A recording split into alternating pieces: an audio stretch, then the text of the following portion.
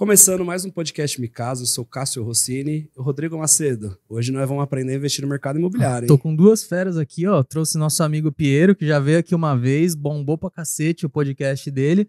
E hoje ele trouxe um cara aqui que, segundo ele, é o papa da tecnologia, é, velho. Da tecnologia do mercado É. imobiliário. A gente tá com altas expectativas aqui, Altas. velho. E os caras trouxeram documento, Dá, trouxeram. um- dá pra uma- ver ali já no- do Dá lado do Piero, velho? Olha esse negócio, velho. O cara trouxe matrícula de imóvel, trouxe a, a- a conta do banco pra mostrar aqui pra gente. Esse negócio do Bradesco aqui. Ele falou que com ele é assim: ele, ele, ele bate na cobra e mostra a cobra morta, não o pau. Sejam muito bem-vindos novamente aqui com a gente.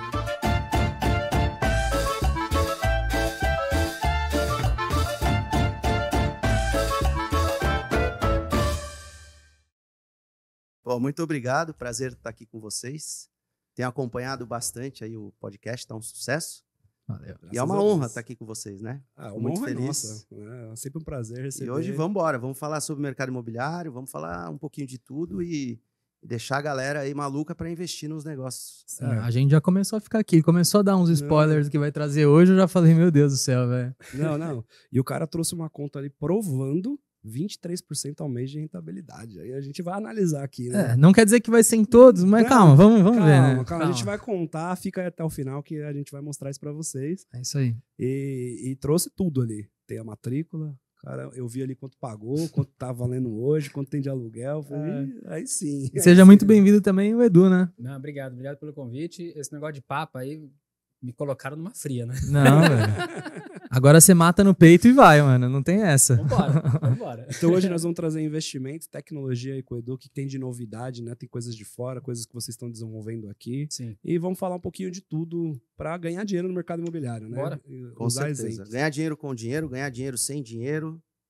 de todas as, as formas. Com consórcio, com financiamento, como.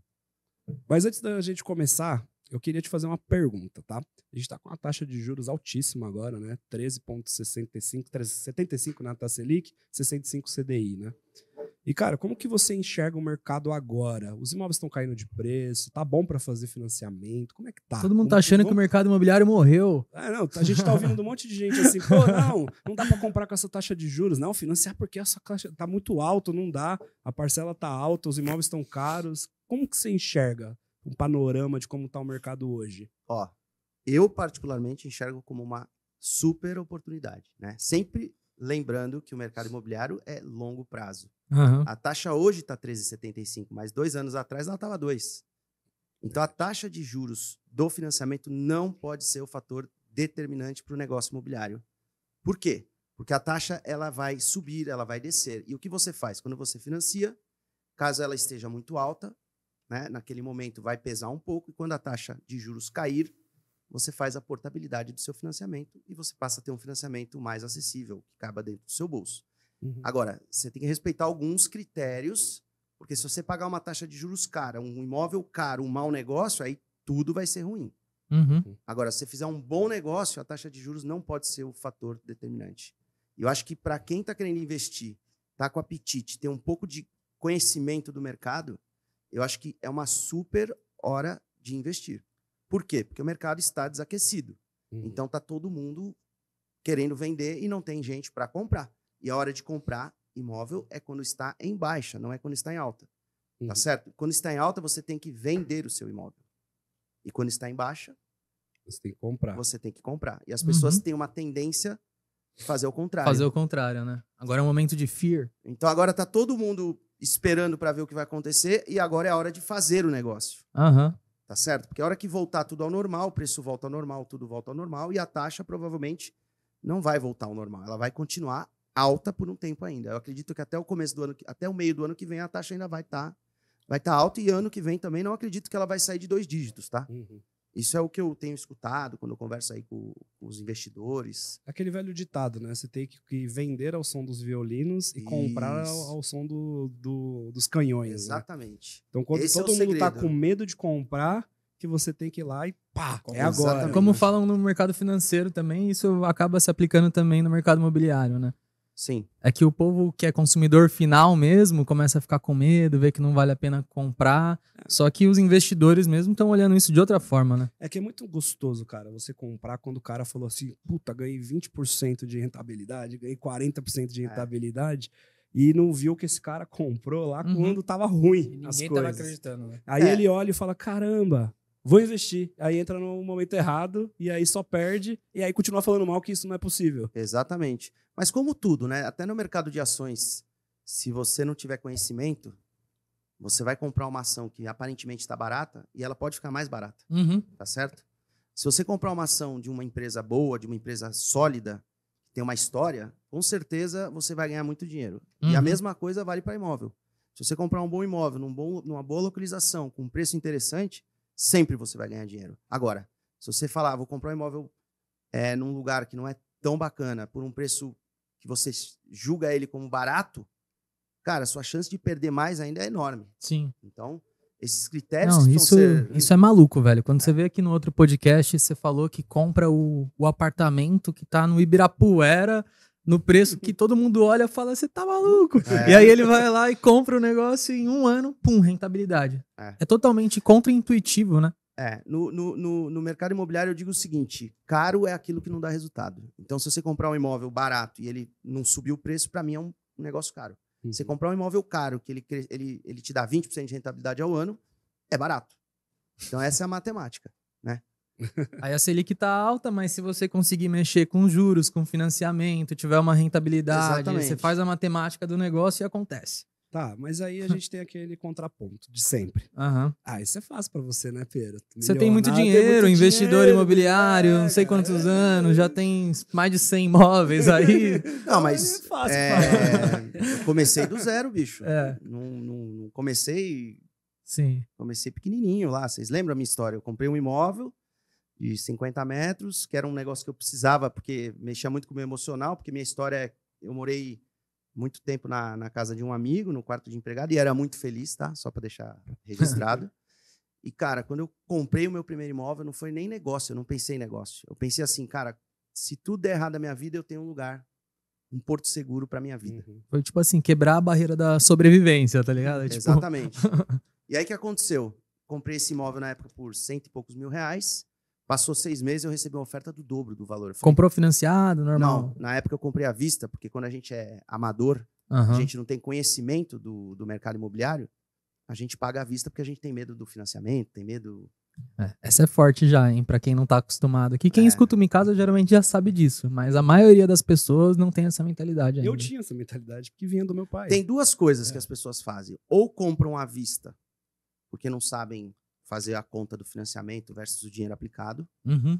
Ou financiam sem fazer a conta dos juros e pagam o valor da parcela. Ou não. Que aí é faz, pior ainda, né? é, ou não fazem a conta porque não sabe aplicar o dinheiro. Que tem os tipos de Exatamente. financiamento, tem as taxazinhas que você não Sim. entende, você fica com medo, você fala, vai ter reajuste, não vai, vai acontecer alguma coisa. Por ignorância, É. acabam fazendo isso, né? Então a gente está aí para ajudar, para somar, para tentar mostrar isso para as pessoas. Só que eu trouxe aqui o, um pouco de, De dados. de dados, porque muitas vezes a gente fala, né? E, e eu tenho percebido assim que muita gente no, no mercado digital tem falado, mas nunca fez, né? Então, assim, ah, ele vende um curso de, sei lá, de finanças. O cara não tem um real aplicado no banco. Como é que ele está vendendo algo que ele nunca fez na vida? Sim, isso é O comum. cara tá vendendo um curso de, sei lá, de compra e venda de carro. Ele nunca comprou um carro, nunca vendeu um carro. Então eu, eu digo que tem que ser skin in the game, né? Tem que, tem que ser verdadeiro, tem que, tem que passar por aquilo. Dizer que eu, eu acertei todas não é verdade. Sim. Agora, quando eu errei, eu sei o porquê errei. Esse é o mais importante na hora que você faz o negócio. Errar faz parte, corrige rápido e bola para frente. Uhum. Agora, o mais importante só do que errar e, re- e corrigir rápido é entender o motivo do erro Sim. né? Então, o único imóvel que eu comprei e me dei mal foi porque eu pulei algumas etapas que eu mesmo falo que tem que ser feitas. E eu acabei tomando uma decisão, porque não tinha tempo, naquele momento eu estava focado em outras coisas, e falei, ó, escolhe lá o que tem e vambora. E esse foi o único imóvel que eu perdi dinheiro. porque eu não tinha um conhecimento. A gente vem do mercado imobiliário, eu, o Rodrigo, a gente tem trabalha com marcenaria, com fábrica, indústria, né? A gente é colado no mercado imobiliário, mas não, é, não era skin the game. Uhum. né? Então, a gente sentia falta disso, porque assim, o conhecimento é poder. Então, a gente fez 70 episódios de podcast trazendo pessoas do mercado imobiliário, e a gente foi picado já. Mas Sim. a gente falou, pô, a gente tá fazendo podcast, tá trazendo um monte de gente que faz, e a gente não faz. né? Pô, a gente faz a a parte da marcenaria, não faz a outra. Né? Então, pô, a gente tem que fazer alguma coisa. Né? Nisso veio uma ideia aqui pra gente, pô, a gente tem que ser skin the game. Vamos fazer uma série pro YouTube pra não ter só no nosso canal ou podcast, pra gente mostrar a gente nesse processo skin the game. Então a Sim. gente decidiu que no primeiro momento, a primeira temporada, a gente vai fazer uma construção financiada. Sim. A gente já gravou um primeiro episódio mostrando a gente escolhendo terrenos em condomínios e tudo mais. E tá até na parede ali, vai chamar desconstrução. Que a gente realmente vai desconstruir uma casa pra galera. E a gente já tá pensando na segunda temporada sem Airbnb, Sim. casa nas É, vamos até praias. chamar o Pinheiro como consultor, né? Pra dar uns vamos. toques na Não, gente, pra gente não e- fazer besteira. Porque se fizer, vai ficar gravado. Isso que é o pior. E eu, vou, eu vou- eu vou ensinar vocês um negócio que, assim, é...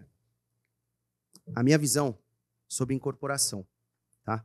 Eu tenho discutido muito com muitas empresas, com muitos investidores, Uhum. com muitas incorporadoras, que, assim, no final do dia, qual é o maior sonho que o investidor, especialista no mercado imobiliário tem? Construir um prédio, fazer um prédio Loteamento. maravilhoso, vou construir, vou vender, vou não sei o quê.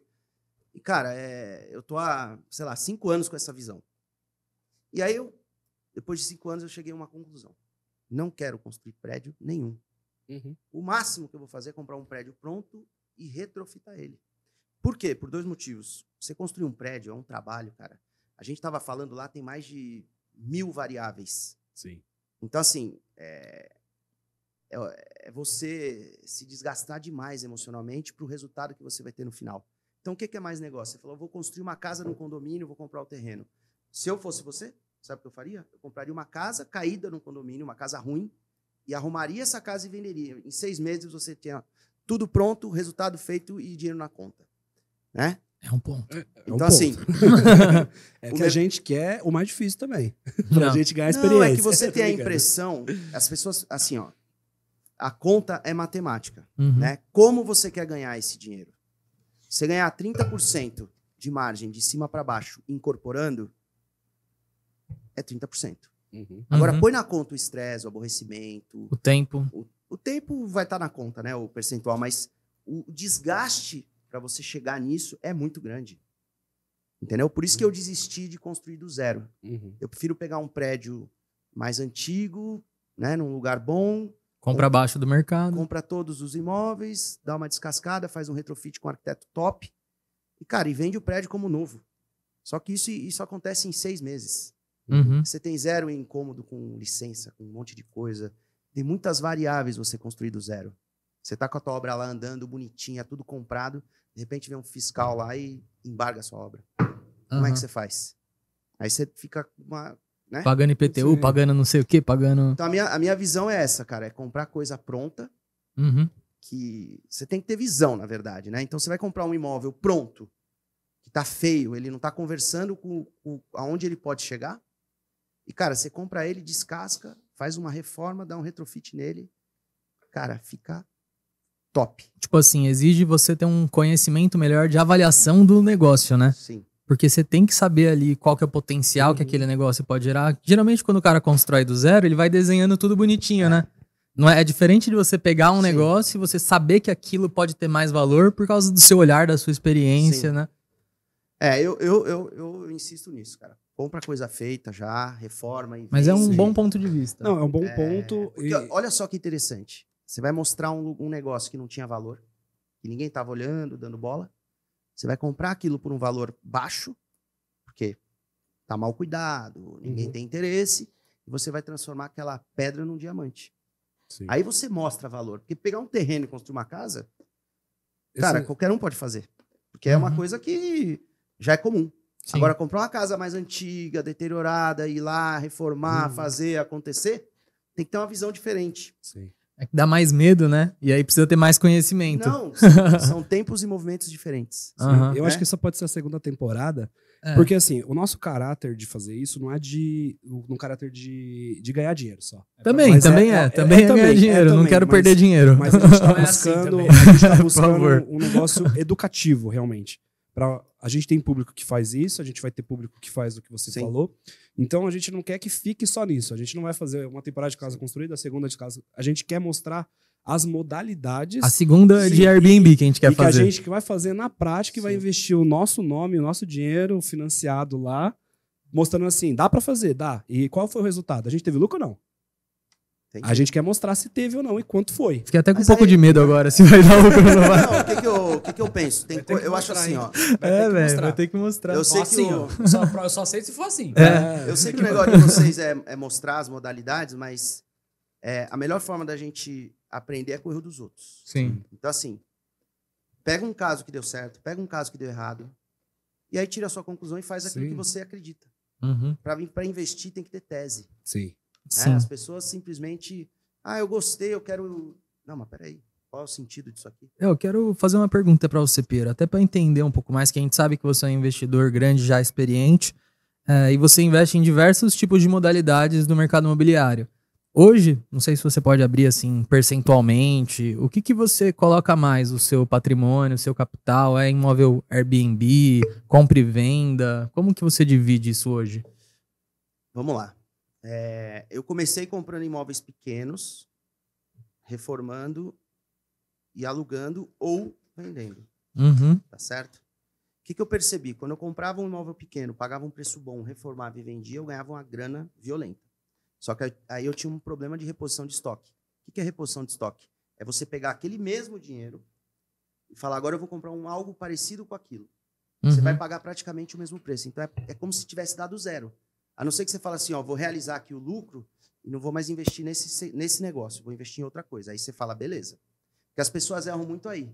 O cara Uhum. pagou um, vendeu por três, aí ele compra no mesmo lugar, nas mesmas, mesmas características por três. Ele ganhou dinheiro? Não, Deu zero. era melhor não ter vendido, era ter ficado Agora, se ele falou, paguei um, vendi por três e vou sair, vou sair, vou investir em outra coisa, Que custa um de novo. e custar um de novo para fazer os três, aí é um puta negócio. Entendeu? Uhum. E aí eu comecei a investir em imóveis menores, reformando e vendendo, enfrentando essa questão da reposição de estoque, porque o mercado imobiliário ele é, ele é muito rápido assim, em recuperação de preço. É, uma coisa pode mudar o cenário inteiro. Né? Uhum. Vamos supor que a taxa de juros hoje caia para 6. Cara, quanto isso vai refletir no preço dos imóveis? Verdade. Né?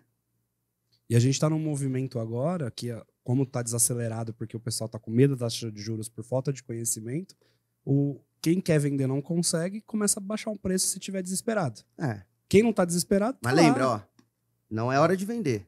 Agora é hora de comprar. É. Fica quieto. Segura. Não vende. Aguenta coração. Aguenta coração, porque ah, depois você vai ter um resultado muito bom e vai valer muito a pena ter esperado. Eu tenho um, um exemplo que eu ganhei muito dinheiro, mas se eu tivesse esperado dois anos a mais, eu teria ganhado o dobro. Mas ok, a vida é assim, né? Você, pode, Você fica relembrando de vez É. em quando, né? em casa. Mas, ó, respondendo aí a sua pergunta, eu comecei investindo em imóveis pequenos, reformando e vendendo, ganhava Uhum. muito dinheiro e tinha a questão do, do- da reposição de Isso estoque. apartamentos. Só apartamentos. Tá. Aí o que, que eu percebi? Né? Falei, putz, se eu vender eu não compro mais, então eu prefiro fazer a transformação, comprar, transformar e alugar. Tá certo? Aí o que, que eu fui observando? Imóveis menores é, são aluguéis com certeza menores, Sim.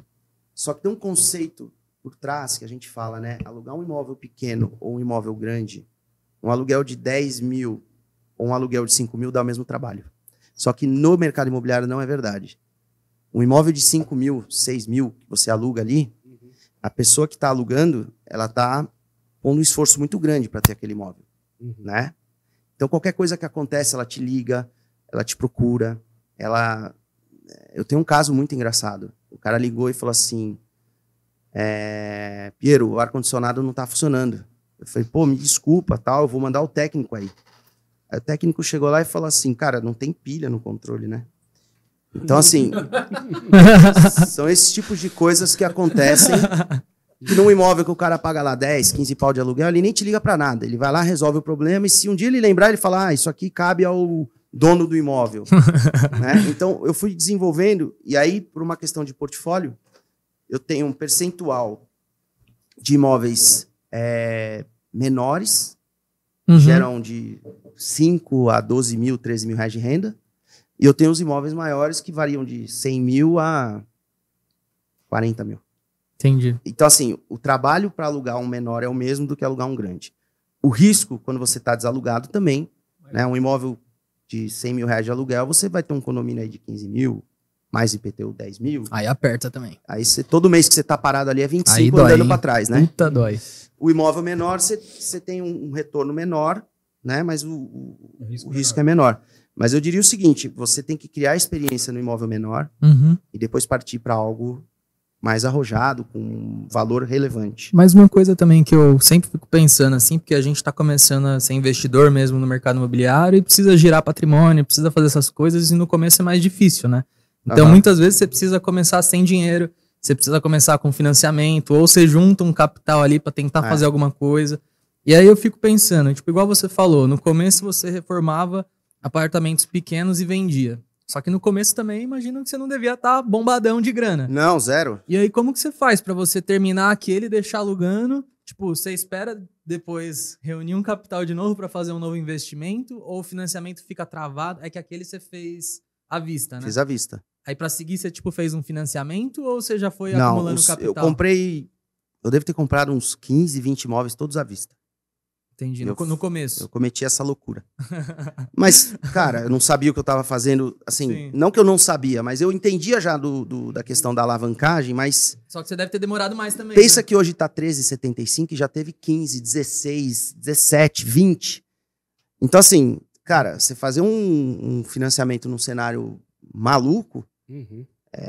Sem muita experiência, dava medo. Então, o que, que eu fazia? Eu tinha uma outra atividade, né? Eu trabalho com publicidade, comunicação e tecnologia. Hum, Então, meu dinheiro vem daí entendi. e eu comprava os imóveis para investir através desse dinheiro. Então, Não normalmente era eu a sua função principal. não, eu normalmente eu pagava à vista. Aí de, sei lá, uns três, quatro anos para cá, que aí o negócio ficou mais profissional, que eu passei a fazer financiamento, comprar imóvel de um jeito que, além de ganhar dinheiro é, com a diferença da compra e da venda, eu Também ganho dinheiro spread, né? com spread bancário.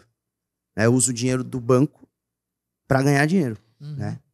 que é, é até interessante, né? Porque Sim. você nunca vê quem que ganha dinheiro com o banco, né? Só o banco.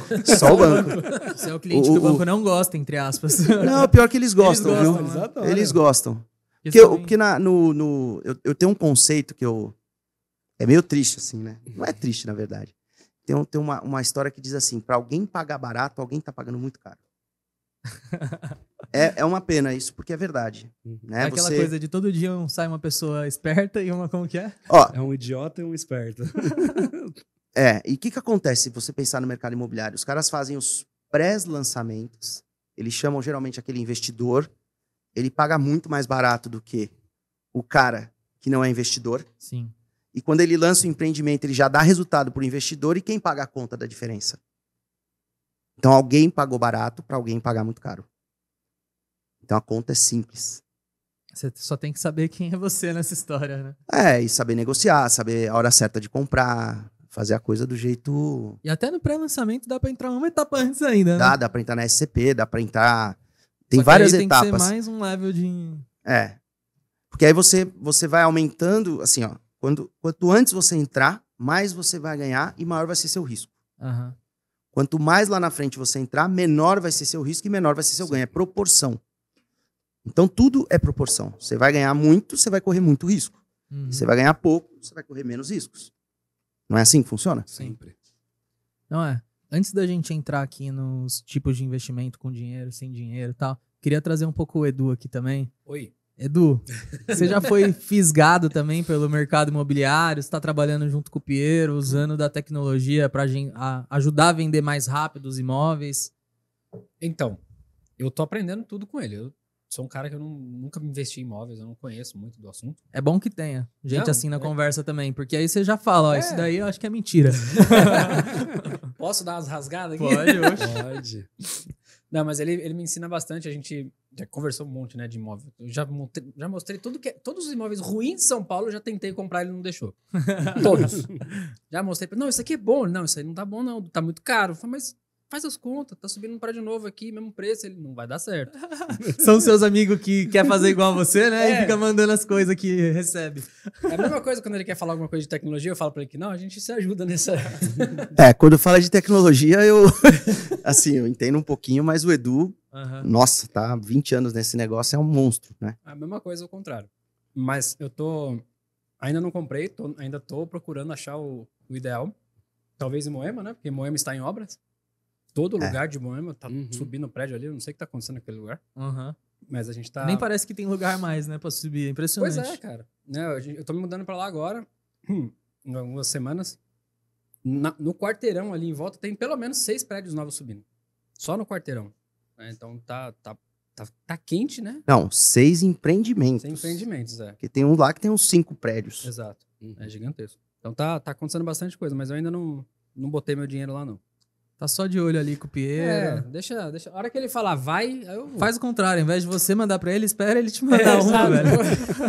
Ou você vê o que ele comprou e comprou no mesmo dia. É verdade. É, mas o que que eu, o que que eu, eu tenho uma preocupação assim, né? Eu gosto muito do Edu e eu quero que ele faça um puta negócio, né? Então, qual- o que que eu tô desenvolvendo agora? Eu tô pondo as pessoas nos negócios que eu faço. Então, por Tá. exemplo, eu comprei um apartamento no prédio XPTO. Puta, isso aqui tem o perfil do Edu, combina com o Edu. Edu, eu tô entrando nesse, vamos junto. E muitas vezes eu abro mão até de eu fazer o negócio, porque às vezes não tem um, não tem dois. Porque Uhum, se tiver três, já não é oportunidade, né? Tem alguma coisa errada. Entendi. Se tiver três coisas boas dentro do único, único negócio, você fala, pera aí que não tá certo isso. Tá. E muitas vezes eu abro mão de eu fazer o negócio e eu passo para meus amigos queridos, né? Uhum. Então, o Edu, eu já tá na minha lista ali, é o primeiro da lista. Quando entrar um negócio bacana, num lugar bacana que tiver a ver com ele, com certeza eu vou, vou fazer ele, Carteirinha ele ganhar dinheiro. E como é que entra nessa lista de amigos queridos? É, eu também quero receber essas indicações, velho. Porra. Não, vamos, tem que estar junto, tem que estar próximo, tem que. E, cara, é, que- é que nem quando você não entende de investimento, você tem que confiar em alguém. É. Uhum. É verdade. E muitas vezes, né, cara, tem que. E eu sou uma pessoa que eu não tenho conflito de interesse. Porque eu não sou corretor. Eu não ganho dinheiro de construtora, de incorporadora. Eu não faço nada disso. O meu negócio é eu investir o meu dinheiro e ganhar dinheiro investindo o meu dinheiro. Uhum. E as pessoas que estão comigo vão ganhar dinheiro junto comigo. Aham. Então, assim, eu nunca vou indicar um imóvel para pessoa porque eu tô ganhando uma comissão, ou porque eu tô ganhando um rebate da incorporadora, ou por qualquer motivo que seja. É, é- realmente é, é 100% isento. Que é isso que, que, que muitas vezes falta no mercado, né? Uhum. Pessoas que. A gente tá, tá discutindo muito essa questão de, de como resolver essa questão do conflito de interesse, né? Porque aí a gente vai oferecer produtos incríveis para as pessoas, para elas terem realmente resultado. Sim. E aí você vai ganhar um, um percentual daquilo, porque você está indicando um negócio bacana. Eu tenho um caso de um apartamento que eu estava comprando faz um tempo. Era um imóvel de 18 milhões de reais e eu falei para a corretora, né? Eu já estava assim, pensa que eu estava no meu limite, assim, de Uhum. eu já tava, tinha comprado uns três apartamentos, reformando dois, já tava com o meu caixa assim, gritando. E esse aí não dava para financiar. Uhum. Esse tinha que ser uma coisa mais meio que à vista, porque às vezes pela necessidade de caixa da incorporadora, ela não pode esperar 30 dias do financiamento, ela quer o dinheiro ali, ó, pá. Uhum. E aí perdi o negócio. Por que, que eu perdi o negócio? Porque eu falei para ela, vamos fazer o seguinte, ó, eu pago tua comissão é, quando eu vender o imóvel. Como assim, quando eu vender? Eu falei, é, você não tá dizendo que vale 25 milhões esse imóvel? Então, a hora que eu vender por 25, eu te pago a comissão de 25. Você segura a onda, espera um pouquinho? Ah, não espero, não tem como. Falei, então você não está acreditando no negócio, né? E essa é uma dica que eu dou para os corretores, cara. Você vende um imóvel pro cara para ele ter renda, passa três meses que o cara comprou, você não liga para saber se ele alugou, você não levou um cliente para alugar. Então, assim, eu acho que esse mercado ainda ele precisa é, de uma forma bem assim profissionalizar Uhum. Uhum. né? Não pode ser o cara tá ali preocupado com a comissão em vender um negócio. Gente, eu tenho corretor que eu falo com o cara há 20 anos, 15 anos, 5 anos, 2 anos. É relação de longo prazo, porque Uhum. no- no- os investidores não vão comprar um único imóvel. Sim. Assim Né? como a consultora tem o estoque, os investidores é um estoque a mais para oferecer. Exatamente. E se você fizer, eu, por exemplo, lá atrás, quando existia uma, a, a Biara, eu fiz um negócio com eles e eu fiquei muito insatisfeito. E eu falei, cara, tudo que vier deles pode ser o melhor negócio do mundo, eu não vou fazer. Né? E aí depois eu, eu conheço o Edu há uns anos, e o Edu, eu não vou usar a palavra como ele falou, mas ele falou assim, cara, negócio com gente é melhor não fazer. E eu tenho isso também como um conceito. Tipo, cara, você pode me trazer o melhor negócio. Se você já sacaneou comigo, ou me fez um negócio que não deu certo, me prometeu algo que você não cumpriu, eu não quero nem te ouvir. Uhum. Posso estar deixando a maior grana na mesa. E não é orgulho, é princípio, E credibilidade também. né? credibilidade. É o Então, os é corretores que estão ouvindo a gente, comecem a pensar nisso. E deixem de, ter, de ser corretores como profissão fim. Né? O cara fala assim, pô, não tô desempregado, não tô fazendo nada, ah, acho que eu vou ser corretor. Cara, ser corretor é muito bom, dá É. muita grana. Sim. Eu conheço um monte de corretor milionário. Então, assim, se dedica à profissão, faz o negócio direito, investe no- o seu tempo na carteira de clientes, não foca só naquele negócio para aquela comissão. Porque muitas vezes você vai sair bem do negócio. Lembra aquela história? O negócio tem que ser bom para os dois lados? Uhum. Então, muitas vezes o corretor faz um negócio que é bom para ele. Porque ele ganhou a comissão, mas o cara ali, cara, não vai ter um bom resultado, não vai ter um bom retorno. Uhum. É a mesma coisa do mercado financeiro, né? Que os assessores acabam passando. Até o próprio Primo Rico tá criando agora uma consultoria no mercado financeiro, né? É, que a- tenta a- não ter o conflito de interesse. É. Sempre. é, não tem um conflito de interesse. Eu conheço a operação, conheço o produto, Aham. mas eu acho que é, existe um mercado por trás. Né? Ele pode não estar tendo conflito de interesse, tal, tal, tal, mas quem está junto ali no- na terceira etapa do negócio tem o conflito de interesse. Uhum. Por mais que ele é um analista, ele entende. E eu penso o seguinte também sobre investimento: não importa que o cara tá ganhando um monte. Se eu estiver ganhando o meu um monte, eu não me incomodo do outro ganhar um monte. Sim. Agora, eu não ganhar e o cara ganhar um monte, e eu que tô fazendo o negócio, aí não faz sentido, né, gente? Sim. Então acho que tem que ter esse equilíbrio, né?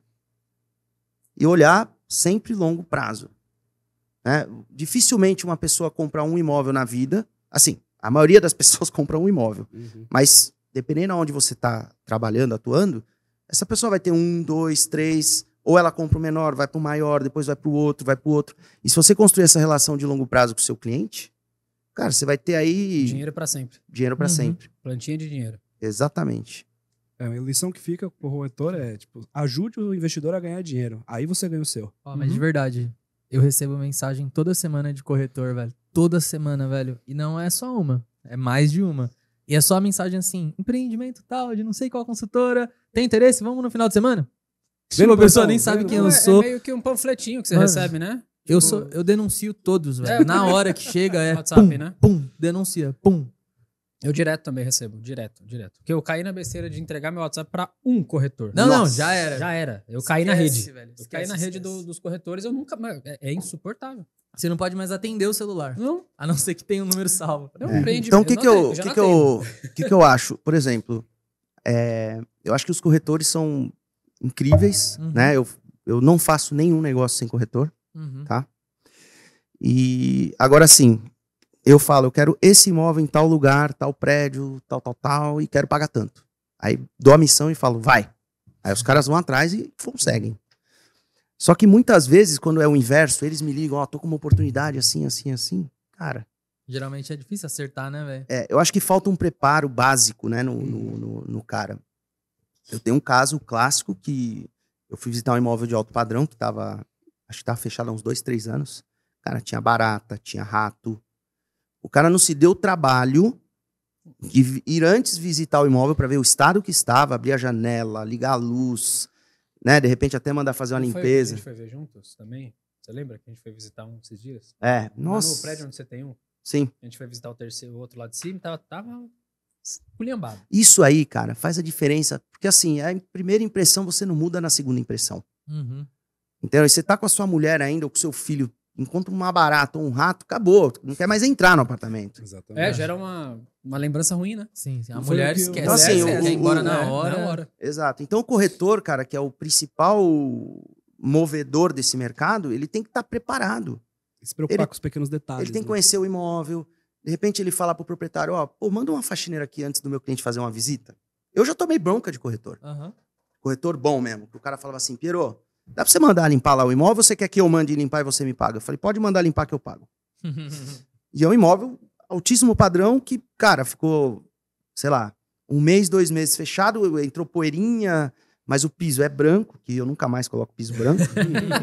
Eu Outra tive dica aí, já é, nota também. eu- que é boa. É que né? assim, ó, eu tive, branco, eu, tive, esquece. eu tive imóvel nos Estados Unidos e, e lá você não abre a janela, né? Porque o ar fica ligado 24 por 7. E o piso era branco. Cara, era assim, caiu um fio de cabelo, você falava. Você via, "Tá, né? né?" Então, assim, e esse apartamento é um apartamento que, que eu tenho que ficou alugado durante 10 anos para uma mesma pessoa. E no começo ela falou: ah, eu posso pôr um piso, não sei o quê. Ah, Pode. pode. O que, que você vai colocar? Ah, vou colocar um por um branco de mármore, não sei o quê. Mármore não, mármore glass e tal. Eu falei, Puta, legal, vai valorizar meu imóvel. mas valoriza, mas assim, Coloca. quem não sabe, o piso branco dá um trabalho. Por isso que não se usa piso branco em cozinha, Dá mesmo. entendeu? A E gente... já se usa piso branco em banheiro. Por quê? Precisa ver a sujeira. Verdade. Por que, que o lençol é branco? Para você enxergar a sujeira. Em hotel, Verdade. entendeu? Então tudo tem uma, uma, uma jogadinha por, Por quê, trás. E o... Deixa eu tirar esse amendoim de perto de mim. Em relação... Eu vi que você foi esses tempos aí pra Miami. Foi. Tava atrás de oportunidade também. Cara, eu, eu já investi lá nos Estados Unidos há, em 90 e... Não, 2006. 2006. Quando foi a crise imobiliária? 2008, né? 2008. Eu comprei em 2009. Eu vou abrir números aqui. Números não, dados. Eu comprei por um, o dólar a 1,70 e 8, pode puxar lá a data. E eu vendi por 2 com o dólar a 5. Caraca. Nossa, velho. Eu vou nem fazer a conta de Não, cabeça. melhor não. Não, nem eu. Eu só marquei Porque aqui assim, ó, eu dobrei em dólar e eu dobrei, eu tripliquei quase em Em real. câmbio. Em câmbio. Agora caiu um pouco, fiquei meio chateado, mas. então, assim, só que aí eu tive lá agora em Miami, visitando alguns imóveis para comprar, para tentar fazer negócio. O que, que acontece? O dólar com a 5, para nós brasileiros, a gente tá muito, muito pobre, cara. Tá. Muito pobre. É então, triste, com, né? com o velho? dólar a 5, não dá para fazer nada. O que você vai financiar é dólar. O dólar pode ir a 7 a qualquer momento. Né? Se ele Uhum. então, é, um, é, um, é uma decisão bem complicada. E é Bem difícil compli- acreditar que vai cair. Não Tá bom vai. pra ser o contrário, né? Pro cara vir de lá e investir aqui. Porque meu amigo, É. ele veio dos Estados Unidos pra cá visitar a gente, né? Passar uma semana aqui. Ele dava risada, que ele falava, mano, eu pedi um Uber aqui, deu dois dólares. É. Eu, eu falei, mano, demorou, pede pra mim sempre. Posso usar sua conta? Não, tá, ele falou, eu fui no mercado levar minha avó, ela escolheu tudo que ela queria, deu menos de 100 dólares. Nossa. Eu falei, nossa. Então, assim, com o dólar a 5, porque assim, ó, lembra, o mercado imobiliário lá também explodiu. Por que, que o mercado imobiliário explodiu na Flórida? Porque o, o pessoal do Canadá, o pessoal de Nova York, é, com a pandemia, as, as restrições eram muito grandes. E aí, o que, que eles fizeram? Eles falaram, meu, a gente precisa ter qualidade de vida. Não adianta eu estar morando aqui em Nova York, num apartamento preso, É. E as restrições eram muito sérias, muito severas. E, Uhum. e na Flórida era um pouco mais suave, um pouco mais sutil. E aí o que aconteceu? O cara de Nova York, que está acostumado a pagar 30, 40 mil dólares no metro quadrado, vai para Miami lá pagar 8 mil dólares no metro quadrado. É, Então, Miami para os caras era muito barato. Uhum. E aí o que aconteceu? Começaram a comprar, comprar, comprar, o mercado, bumba, subiu. Então, o valor do, do, do metro quadrado em Miami também subiu muito. Entendi. Aí você imagina que o preço subiu e o dólar nem se fale, né? Uhum. Então, para mim, hoje, é muito complexo fazer um investimento lá fora. Apesar da taxa de juros lá ser bem menor, é 6%, 6,5%, não dá para você ficar correndo esse risco do dólar, entendeu? É melhor, ter, é melhor ser o Flávio Augusto, né? Que já tinha lá É. e vendeu agora. É. Ter a renda em dólar principal, né? Pra aí começar a isso fazer sentido, né? É, exatamente.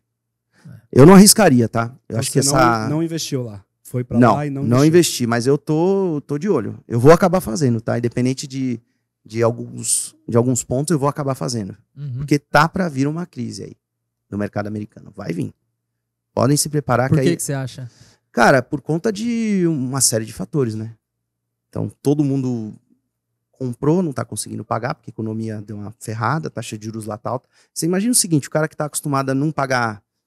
Eles Não não estão acostumados com Não juros. tem inflação, lá. cara. Não é Brasil, né, velho? É, não é Brasil. Não Não é tem Brasil. inflação. Uhum. De repente, o negócio aumentou 7, 8% de inflação. Isso é o... Aqui a gente estaria tranquilo, É, maravilhoso. Nossa, que lindo. Tava Paraíso. maravilhoso. É. Tava E na outra- praia. E outra coisa, outra coisa que as pessoas não sabem. A gente olha ali, ah, a inflação tá 4,70 no Brasil. Depende. O que, que você consome? Se Pra- você consome luxo, é outra coisa. Se você consome coisas. eh, Cada, cada setor tem a sua inflação. Eu discuto muito com pessoas de negócio que eu falo, você precisa de alguma forma criar a inflação do seu setor. Por quê? Foda. Porque se você seguir a regra da inflação, que é baseada em, em coisas muito. é, são coisas que vendem muito, mas são coisas que é, não estão no nosso dia a dia. Uhum. A do meu setor foi absurda. Então. E eu calculei o quanto aumentou a matéria-prima nossa na Sim. nossa fabricação. E até hoje eu não repassei pro cliente, porque não dá. Então, aí Você você perde perde três, margem, né? A gente tá falando lá, chegou numa inflação de do- 10, 11, né? Quanto chegou no máximo? Aham. Minha deu 30% 30? nos insumos. Uhum. Tem coisas, materiais que dobraram. Se na média, 30 na média. Mas tem materiais que Mas dobraram teve- ou triplicaram de preço. Mas É. teve, teve relação com a guerra? Não, com, Teve, teve relação com a pandemia, com falta de insumos dentro do Brasil e não conseguia importar, não conseguia fabricar, É. faltava componentes, aí os preços começaram a disparar. Entendi. É. Chapa, E ferragem. eu sou uma. Eu Ah, sou você um pega negócio, o. Eu sou um negócio que eu vendo para um cliente hoje, vai, 100 mil reais, certo? Eu só vou produzir isso daqui 40, 60 dias. Então pensa que eu peguei aqui, tinha várias coisas vendidas para serem entregues, certo? E aí quando eu fui comprar o material, começou a subir de uma vez. Quando eu fui comprar o material, eu paguei quase mais que o dobro, quase o dobro no material. Do que você tinha Eu paguei para entregar vários clientes em 2020. Tipo, deu um boom, Nossa. mas no meu, que eu não conseguia, eu não, não vou ligar pro cliente e falar, agora você tem que pagar 30% a mais para mim. Não dá. É. Então a gente teve que assumir isso. Nossa, Então a gente aumentou, a gente aumentou a empresa, a gente cresceu, mas não ganhamos dinheiro não ganhou dinheiro. por conta dessa inflação. E eu sempre falo, ah, o IPCA não é uma inflação, a inflação é quanto custa que é eu o- pago. Exato. Esse insight é forte, velho. Esse é muito bom. É, então, você que tem negócio aí, presta atenção, né? Porque ficar. Vou corrigir o contrato pela inflação. Porra. Teu insumo aumentou 30%, você vai corrigir 5%? Ah. E aí? Uhum. Como é que você faz? Milagre? Como? Eu ia Então- até perguntar, os de aluguel que você tem, você reajusta Cara, IGPM? É, vamos lá. Porque IGPM tá tipo. Não. Você chega pra né? todo mundo e vai Não, você também- eu vou te explicar o que acontece na prática, tá? Tá. Só pra você saber, o IGPM dos últimos 12 meses deu negativo. É, agora, porque chegou a 30 e poucos por É, cento. né? deu negativo. 34. Aí eu falei, então eu vou corrigir pela inflação. você falou, não posso diminuir o aluguel do cara. Não, porque foi o seguinte: esse é um, é um inquilino que tá comigo há seis anos, é um aluguel alto. E, porra, toda vez que eu ia corrigir pelo IGPM, eu, eu ficava sem graça, mas eu tinha o meu papel de comunicar: olha, a partir do dia tal, o aluguel vai ser reconhecido, vai ser é, Reajustado. reajustado pelo IGPM, o valor fica tanto. O cara já Toda, toda surtava. Soltou. já Fala, pô, mas não dá, é um absurdo, tal, tal, tal. Eu falei, o que que te deixa confortável? Ele falou, ah, me deixa confortável corrigir pela inflação. Beleza, tá tudo certo. Entendeu? E aí, o que que eu fiz ultimamente? Alguns aluguéis eu já tô fazendo eles baseados na inflação, Tá. entendeu? Não tem muita alternativa. Uhum. né? Porque senão o cara também fala, pô, então não dá pra ficar. E não tudo- aguento- e tudo- ficar. Na pandemia aconteceu vários, né? Sim. Os caras dando. Eu aluguei, eu, eu tenho alguns imóveis que alugados na empresa e, tipo, eu falei, cara, desculpa, eu não vou pagar 30% de aumento. Você esquece. Paguei 8. Não, o Falei, IGPM foi uma eu aceito raquetada. pagar 8. Sabe o que foi 10%. caro também? O, o INCC dos últimos três anos INCC. foi uma raquetada também, 40 e tantos por cento. E... Quem sofreu mais foi quem comprou apartamento na É, planta. por né? isso que eu, eu falo, não, assim, não não compre na planta, mas Vai com é calma, complexo. E todos que você compra na planta são reajustados por INCC? Cara, eu não compro nenhum na planta, pra falar a verdade. Já Não, não, comprei Os que vendem né? Mas assim. em né? geral. Em geral. todos, todos, todos. Ah, é? A não ser que você pague à vista, Entendi.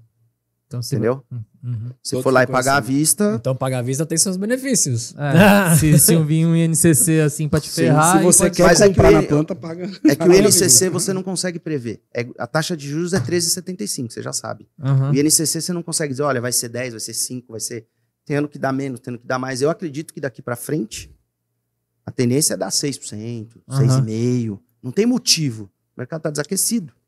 Não tem motivo pro negócio Sim. esticar. No meu caso, tá regularizando, porque subiu muito, eu comecei a ganhar menos agora, e agora começou a cair um pouco, e aí tá voltando ao normal. Então eu não tô precisando aumentar o preço pro cliente. Eu, tô, eu aumentei, obviamente, um- o que precisava, mas eu não consegui aumentar tudo. Como é que você aumenta 30% no cliente? Não tem como. Ah, cara, eu acho que muita gente, assim, é uma questão até de bom senso, né? Sim. Eu, eu particularmente, assim, meus negócios que eu faço, eu tento sempre definir um critério de correção, né? E, obviamente que é, eu não vou prejudicar a pessoa que está me fornecendo e Uhum. nem vou me prejudicar. Mas acho que Sim. o caminho do meio, Sim. tendo consciência, é importante. Ah, mas é bom saber quem, o que estão fazendo, quem tem vários imóveis e tal, né? Porque as Sim. pessoas ficam preocupadas, né? Ó, só para deixar um- o, o- o recado. Por que, que eu gosto muito de imóvel residencial? Porque ele é resiliente, todo mundo vai precisar morar.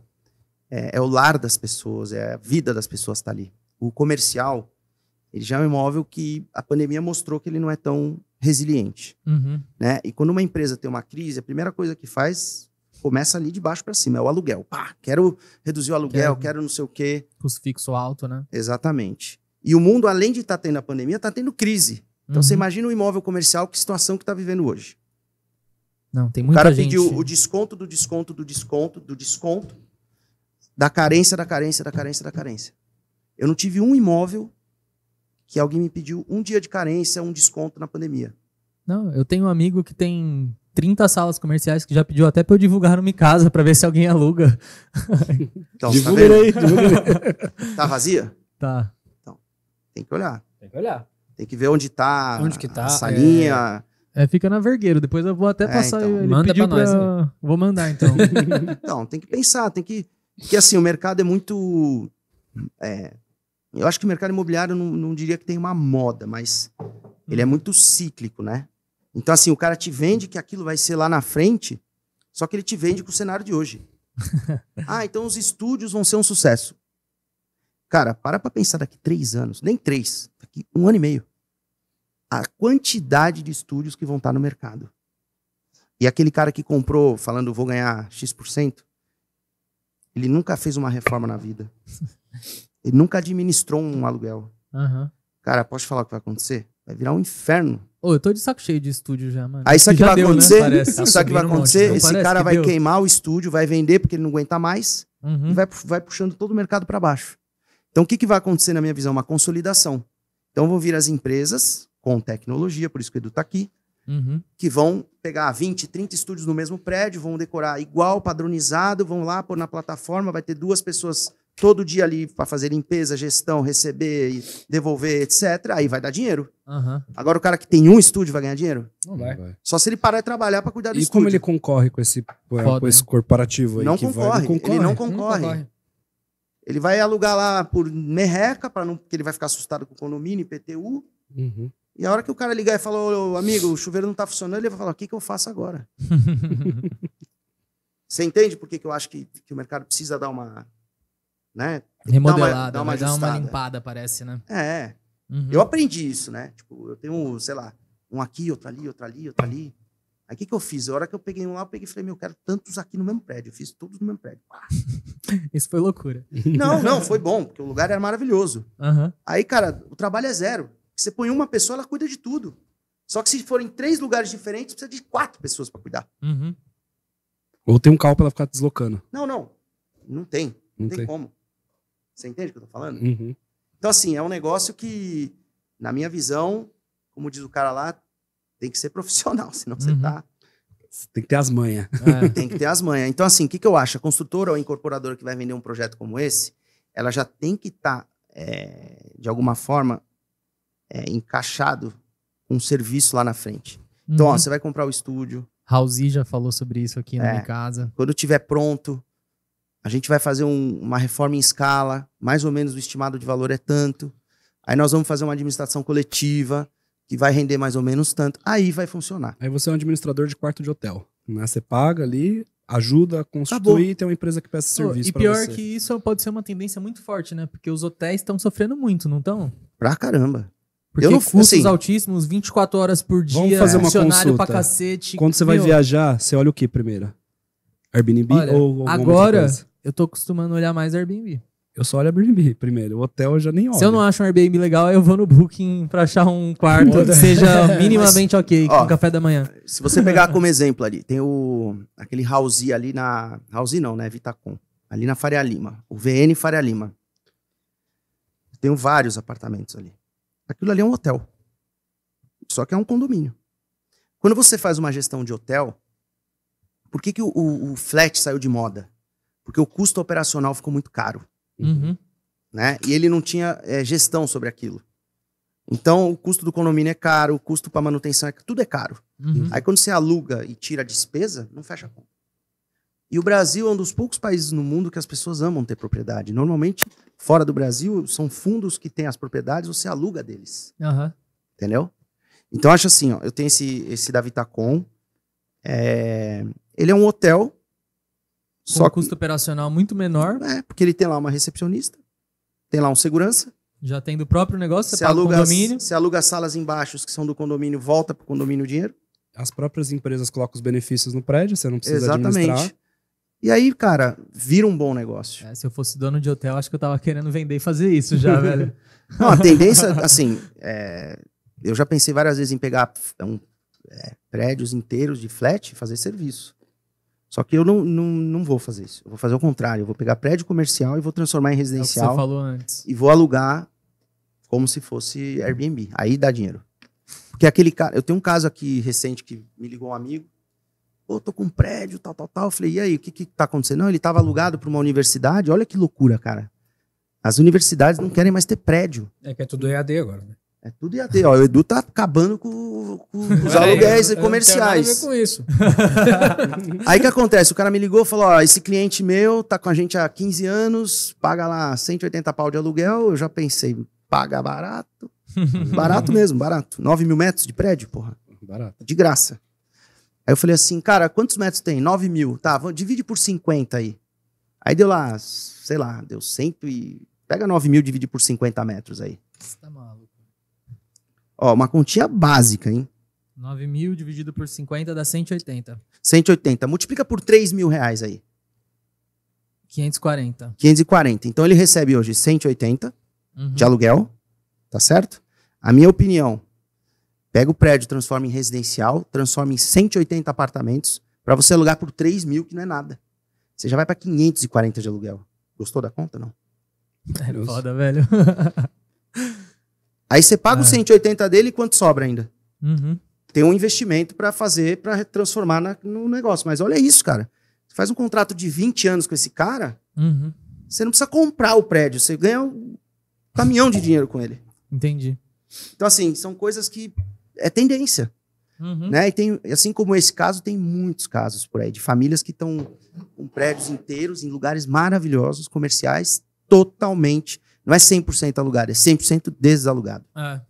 É o que eu falei, até do meu amigo, pô. Tá começando até. Quando os outros começam a falar assim, é porque você sabe que o negócio tá acontecendo, né? E aí, o que, que mostra para mim isso? Que o mercado imobiliário está indo para serviço. Quando você tem um. Ninguém mais quer reformar apartamento, ninguém mais quer ter trabalho. O cara quer chegar com a malinha ali, bicho, pôr no armário e pau na máquina. Uhum. Então, assim, a dica é: compra o imóvel, reforma, transforma, deixa ele pronto. E aí você vai ganhar dinheiro. Eu fiquei maluco já aqui com essa rentabilidade que você falou. Eu acho que a gente pode começar a entrar nos cases aqui. Vamos Tá. seguir aquela linha que você tinha falado de investimentos que você fez sem dinheiro e com dinheiro, né? Que precisa de capital para começar É. ali a fazer movimento. Eu vou começar pelo com dinheiro. Tá. É, há uns dois anos atrás, a gente, é, eu e o Thiago Nigro, a gente decidiu fazer um documentário para eu ensinar o Thiago Nigro a comprar um imóvel, Uhum. tá certo? E a gente é, teve algumas é, incorporadoras que se interessaram pelo projeto e na época a gente acabou entendendo que a gente precisava de alguém muito forte, com um portfólio extenso para a gente poder ter opção. Uhum. E naquele momento a gente e a gente queria São Paulo capital. Tá. Né? Porque o Thiago é daqui, eu sou daqui, então e o nosso o meu mercado e- princípio é São Paulo Sim. capital, cinco bairros. E a gente fez uma parceria com a com a Elbor Construtora, visitou cinco empreendimentos em São Paulo, dois em Mogi das Cruzes. Uhum. Cara, a gente fez um negócio assim, visitou bastante e, e a gente criou um documentário sobre isso e no final a gente tomou a decisão de comprar um, um imóvel que eu decidi que para mim era o melhor negócio, né? Uhum. E na época, é, eu vou, vou resumir, senão a gente vai ficar um episódio aqui falando Não, disso. Pode mandar ver. E aí, se você quiser conhecer sobre esse documentário, ele tá no YouTube, no canal do Thiago. É um tá. documentário muito bom, inclusive. A gente É, assistiu lá. Ele é, ele é um documentário que a gente mostra por cima Uhum. como você toma uma decisão de escolher um imóvel, tá? E eu que estou ensinando ali, mostrando para o Thiago, porque o Thiago é especialista em finanças, eu sou especialista no mercado imobiliário. E aí a gente decidiu que a gente ia comprar um, um imóvel que ficava ali na Vila Olímpia JK, que é, é um bairro que eu apelidei porque ele está na Vila Olímpia, mas ele está praticamente na frente do shopping Uhum. JK. E aí na época a gente pagou 840 mil reais nesse imóvel, tá certo? Que foi em 2020. E aí veio a pandemia, o documentário se estendeu, deu uma atrasada tal. A gente gastou praticamente 180, 200 mil reais na reforma. Uhum. Que esse número ele não é, ele não é, Foi um valor alto, né? é, ele não é um valor proporcional, tá? Como a gente ia fazer um documentário, um negócio, então assim precisava ser um imóvel que brilhasse, que ficasse Uhum. acima da média, Uhum. tá certo? Então a gente acabou gastando ali 180, 200 mil. Uhum. E esse imóvel acabou saindo pra gente por 1.020, 1 milhão e 20. E nós pagamos à vista. Tá certo? Na época. Pra facilitar, pra ter velocidade no, Uhum. no negócio. Aí eu vou, eu vou mostrar pra vocês aqui, ó, é, os documentos, só pra gente não parecer contador de história. Lá, Só pra ninguém falar. Quero É, ver essa ó. rentabilidade aí. É mentira. É. é um imóvel de 53 metros quadrados. 53 esse daí? 53 metros quadrados. Por Uhum. 840 mil? 840 mil. Peixincha. Não, o Thiago na época falava, Perão, Tá é bom caro pra caramba, hein? Mano, eu Quase acho... 16 mil metros. É, É. 16 mil vai comprar na Vila Olímpia hoje por 16 mil ali onde tem. É 30 pau o metro pra começar. Nossa, mano, e parece caro, velho. parece aqui, ó, caro. Exatamente, ó. Nós pagamos aqui, ó, 840 mil reais, ó. Tá aqui, ó. 840 mil reais. Pagou mesmo, ó. Quem não tá vendo na câmera, eu tô vendo aqui, velho. Tá Tá? por extenso escrito aqui, ó. Exatamente. Uhum. E aí o que acontece? Esse imóvel hoje pra gente, ele tá rendendo em média 13 mil reais por mês de aluguel. Tá? 13k por mês. Isso. E hoje, preço médio de mercado. Aluguel pra uma pessoa mesmo? É, a gente usa, a gente faz a alocação pelo Airbnb. Ah. Mas olha o que tem acontecido, cara, é muito interessante. É, você aluga pro cara por uma semana, depois ele vem e passa 15 dias. Aí o cara toma a decisão que ele vai morar em São Paulo. Uhum. Ou que ele precisa ter um imóvel em São Paulo. O que, que ele faz? Ele entra lá no Airbnb, pede um descontinho pra você e fecha com você 3, 4, 5, 6 meses de locação. É um negócio assim. Caraca, acontece isso bastante? Acontece bastante. Há bastante. Aqui em São Paulo, principalmente, É, deve porque acontecer, né? Muito, porque aqui não é muito. pra viajar pra férias que o cara vai, né? Ninguém vem pra Exatamente. gosta. É, eu vou pra praia de São Paulo. Exatamente. E aí o que acontece? Como é que eu faço a conta? Eu falo bastante isso no meu Instagram, né? Como é que eu faço a conta para entender a rentabilidade do imóvel? Uhum. Eu somo o valor de compra versus o valor de mercado, apuro a diferença e somo os aluguéis. Tá certo? Esse imóvel hoje, Tá. se você for comprar ele naquele prédio, um ok, não é nem um top, você vai pagar em torno de 1.550, 1 milhão e 550 reais. Um ok. Um ok. Tá. Um top top é 1.600, 1.650. Tá? Porque o, o, o top top é o que está de frente. O nosso Entendi. não está de frente, o nosso está no fundo. Bem reformado, mas no fundo. É, bem reformado lá no fundo. Então é um imóvel de 1.550, Uhum. né? E aí se você fizer a continha do valor que a gente pagou, 840, mais a reforma, e a diferença entre o valor de compra e o valor que ele vale hoje de mercado, a gente está falando de 530 mil reais. Num tempo de 29 meses. Desde que eu comprei esse imóvel, fazem 29 meses. Uhum. Uhum. Quando eu somo 13 mil reais do aluguel, mais os 530 de lucro que eu tive nesses 29 meses e divido tudo, eu tô ganhando por mês, mais ou menos, 28 mil reais por mês com esse imóvel. É uma Ai, margem de velho, dois- não. 2,80% ao mês. Aonde você ganha 2,80% ao mês com imóvel, que é um negócio sólido, garantido. Só Isso com pirâmide. usando. é, isso eu tô me baseando no valor de mercado, com a diferença entre a compra e a venda. Não, deu pra entender. Mas eu É. fiz a conta aqui, ó. Só do aluguel perante o que vocês gastaram. É, só eu- pra gente ter uma rentabilidade sobre o 1,19. investimento. 1,19. Já fiz aqui também, porque eu sabia que você ia me pegar nessa. Mas eu fiz aqui também. Né? Entendeu? E aí, qual é a lógica? Cara, esse imóvel vai valorizar todo dia. Porque que imóvel que você tem hoje que dá 1,19 de rentabilidade? Teve mês que deu 17 mil. Não, que investimento você faz hoje que dá Investimento, isso? né? É. Qual Não, fundo que você coloca não esse tem. dinheiro que... E teve mês que deu 17 mil reais de locação. Que aí o cara pegou cheio, não pediu um real de desconto. Aí você multiplica os dias pelos. É uma raquetada. Então, esse é um exemplo que eu gosto de falar, que é real, tá lá, gravado. Os números estão aqui. Se alguém tiver dúvida, a gente manda. Contrato, manda o, Põe É, na tela aí. Eu mostro. Né? A gente É. pode mandar pra galera isso daí? Pode. Pode? Eu vou- Então vamos fazer o seguinte: se você quer receber os documentos, comente aqui que a Isso. gente vai mandar um PDF Sim. pra E aí você. eu mando pra com- vocês o. A continha, o, tá boa? O resultado do Airbnb, né? Que é Isso. automatizado. A gente vai mandar os documentos pra comprovar isso pra Vocês vocês. automatizam ainda o negócio do Airbnb, velho? Não, o, o Airbnb ele já é automatizado, na verdade. Aham. Mas eu digo, se as pessoas acharem que eu tô. tiverem dúvida sobre a informação, eu entro no, no site do Airbnb e mando pra ele as. Entendi. Os valores Lá pagos, tem, as né, o reservas. Print do. Eu mando o extrato. Mando o extrato. No imposto de renda do Manda, Airbnb. comenta aqui, de renda do Rodrigo. Airbnb. Quero os documentos, comente. Então- Quero os documentos. automatizar isso aí. Esse é um caso. Comenta aqui documento. Esse é um- Comenta documento. ó. É, documento a gente vai mandar documento. pra você. E aí, esse é um caso que, cara, na minha visão, já é um super negócio. Não. Mas é um super negócio. E a gente vai aprendendo com o tempo. Eu acho que eu devo ter comentado com vocês sobre aquele apartamento que eu comprei no, no hotel. Co- Sim, comentou, comentou. comentou. Então, hoje eu Comentou. trouxe aqui o resultado daquela operação, porque Lembro naquela dele. época eu estava ainda na negociação, estava meio que fechando e tal. O que acontece? Esse é um prédio que fica ali no Itaim, tá? É um prédio que durante muito tempo foi 100% de uma única família, era um flat. E como eu falei, os flats entraram em Uhum. meio decadência. Esse prédio foi vendido 70% para uma rede hoteleira, Grand Mercury. Hoje Uhum. ele é, é o quarto mais bem avaliado do TripAdvisor. E eles venderam 70% do prédio para o hotel. O hotel retrofitou o prédio inteiro, deixou novo, lindo. Uhum. E 30% ficou com a família. E essa família foi vendendo esses imóveis. Vendeu para um, vendeu para outro. E aí qual era o- o big business aí?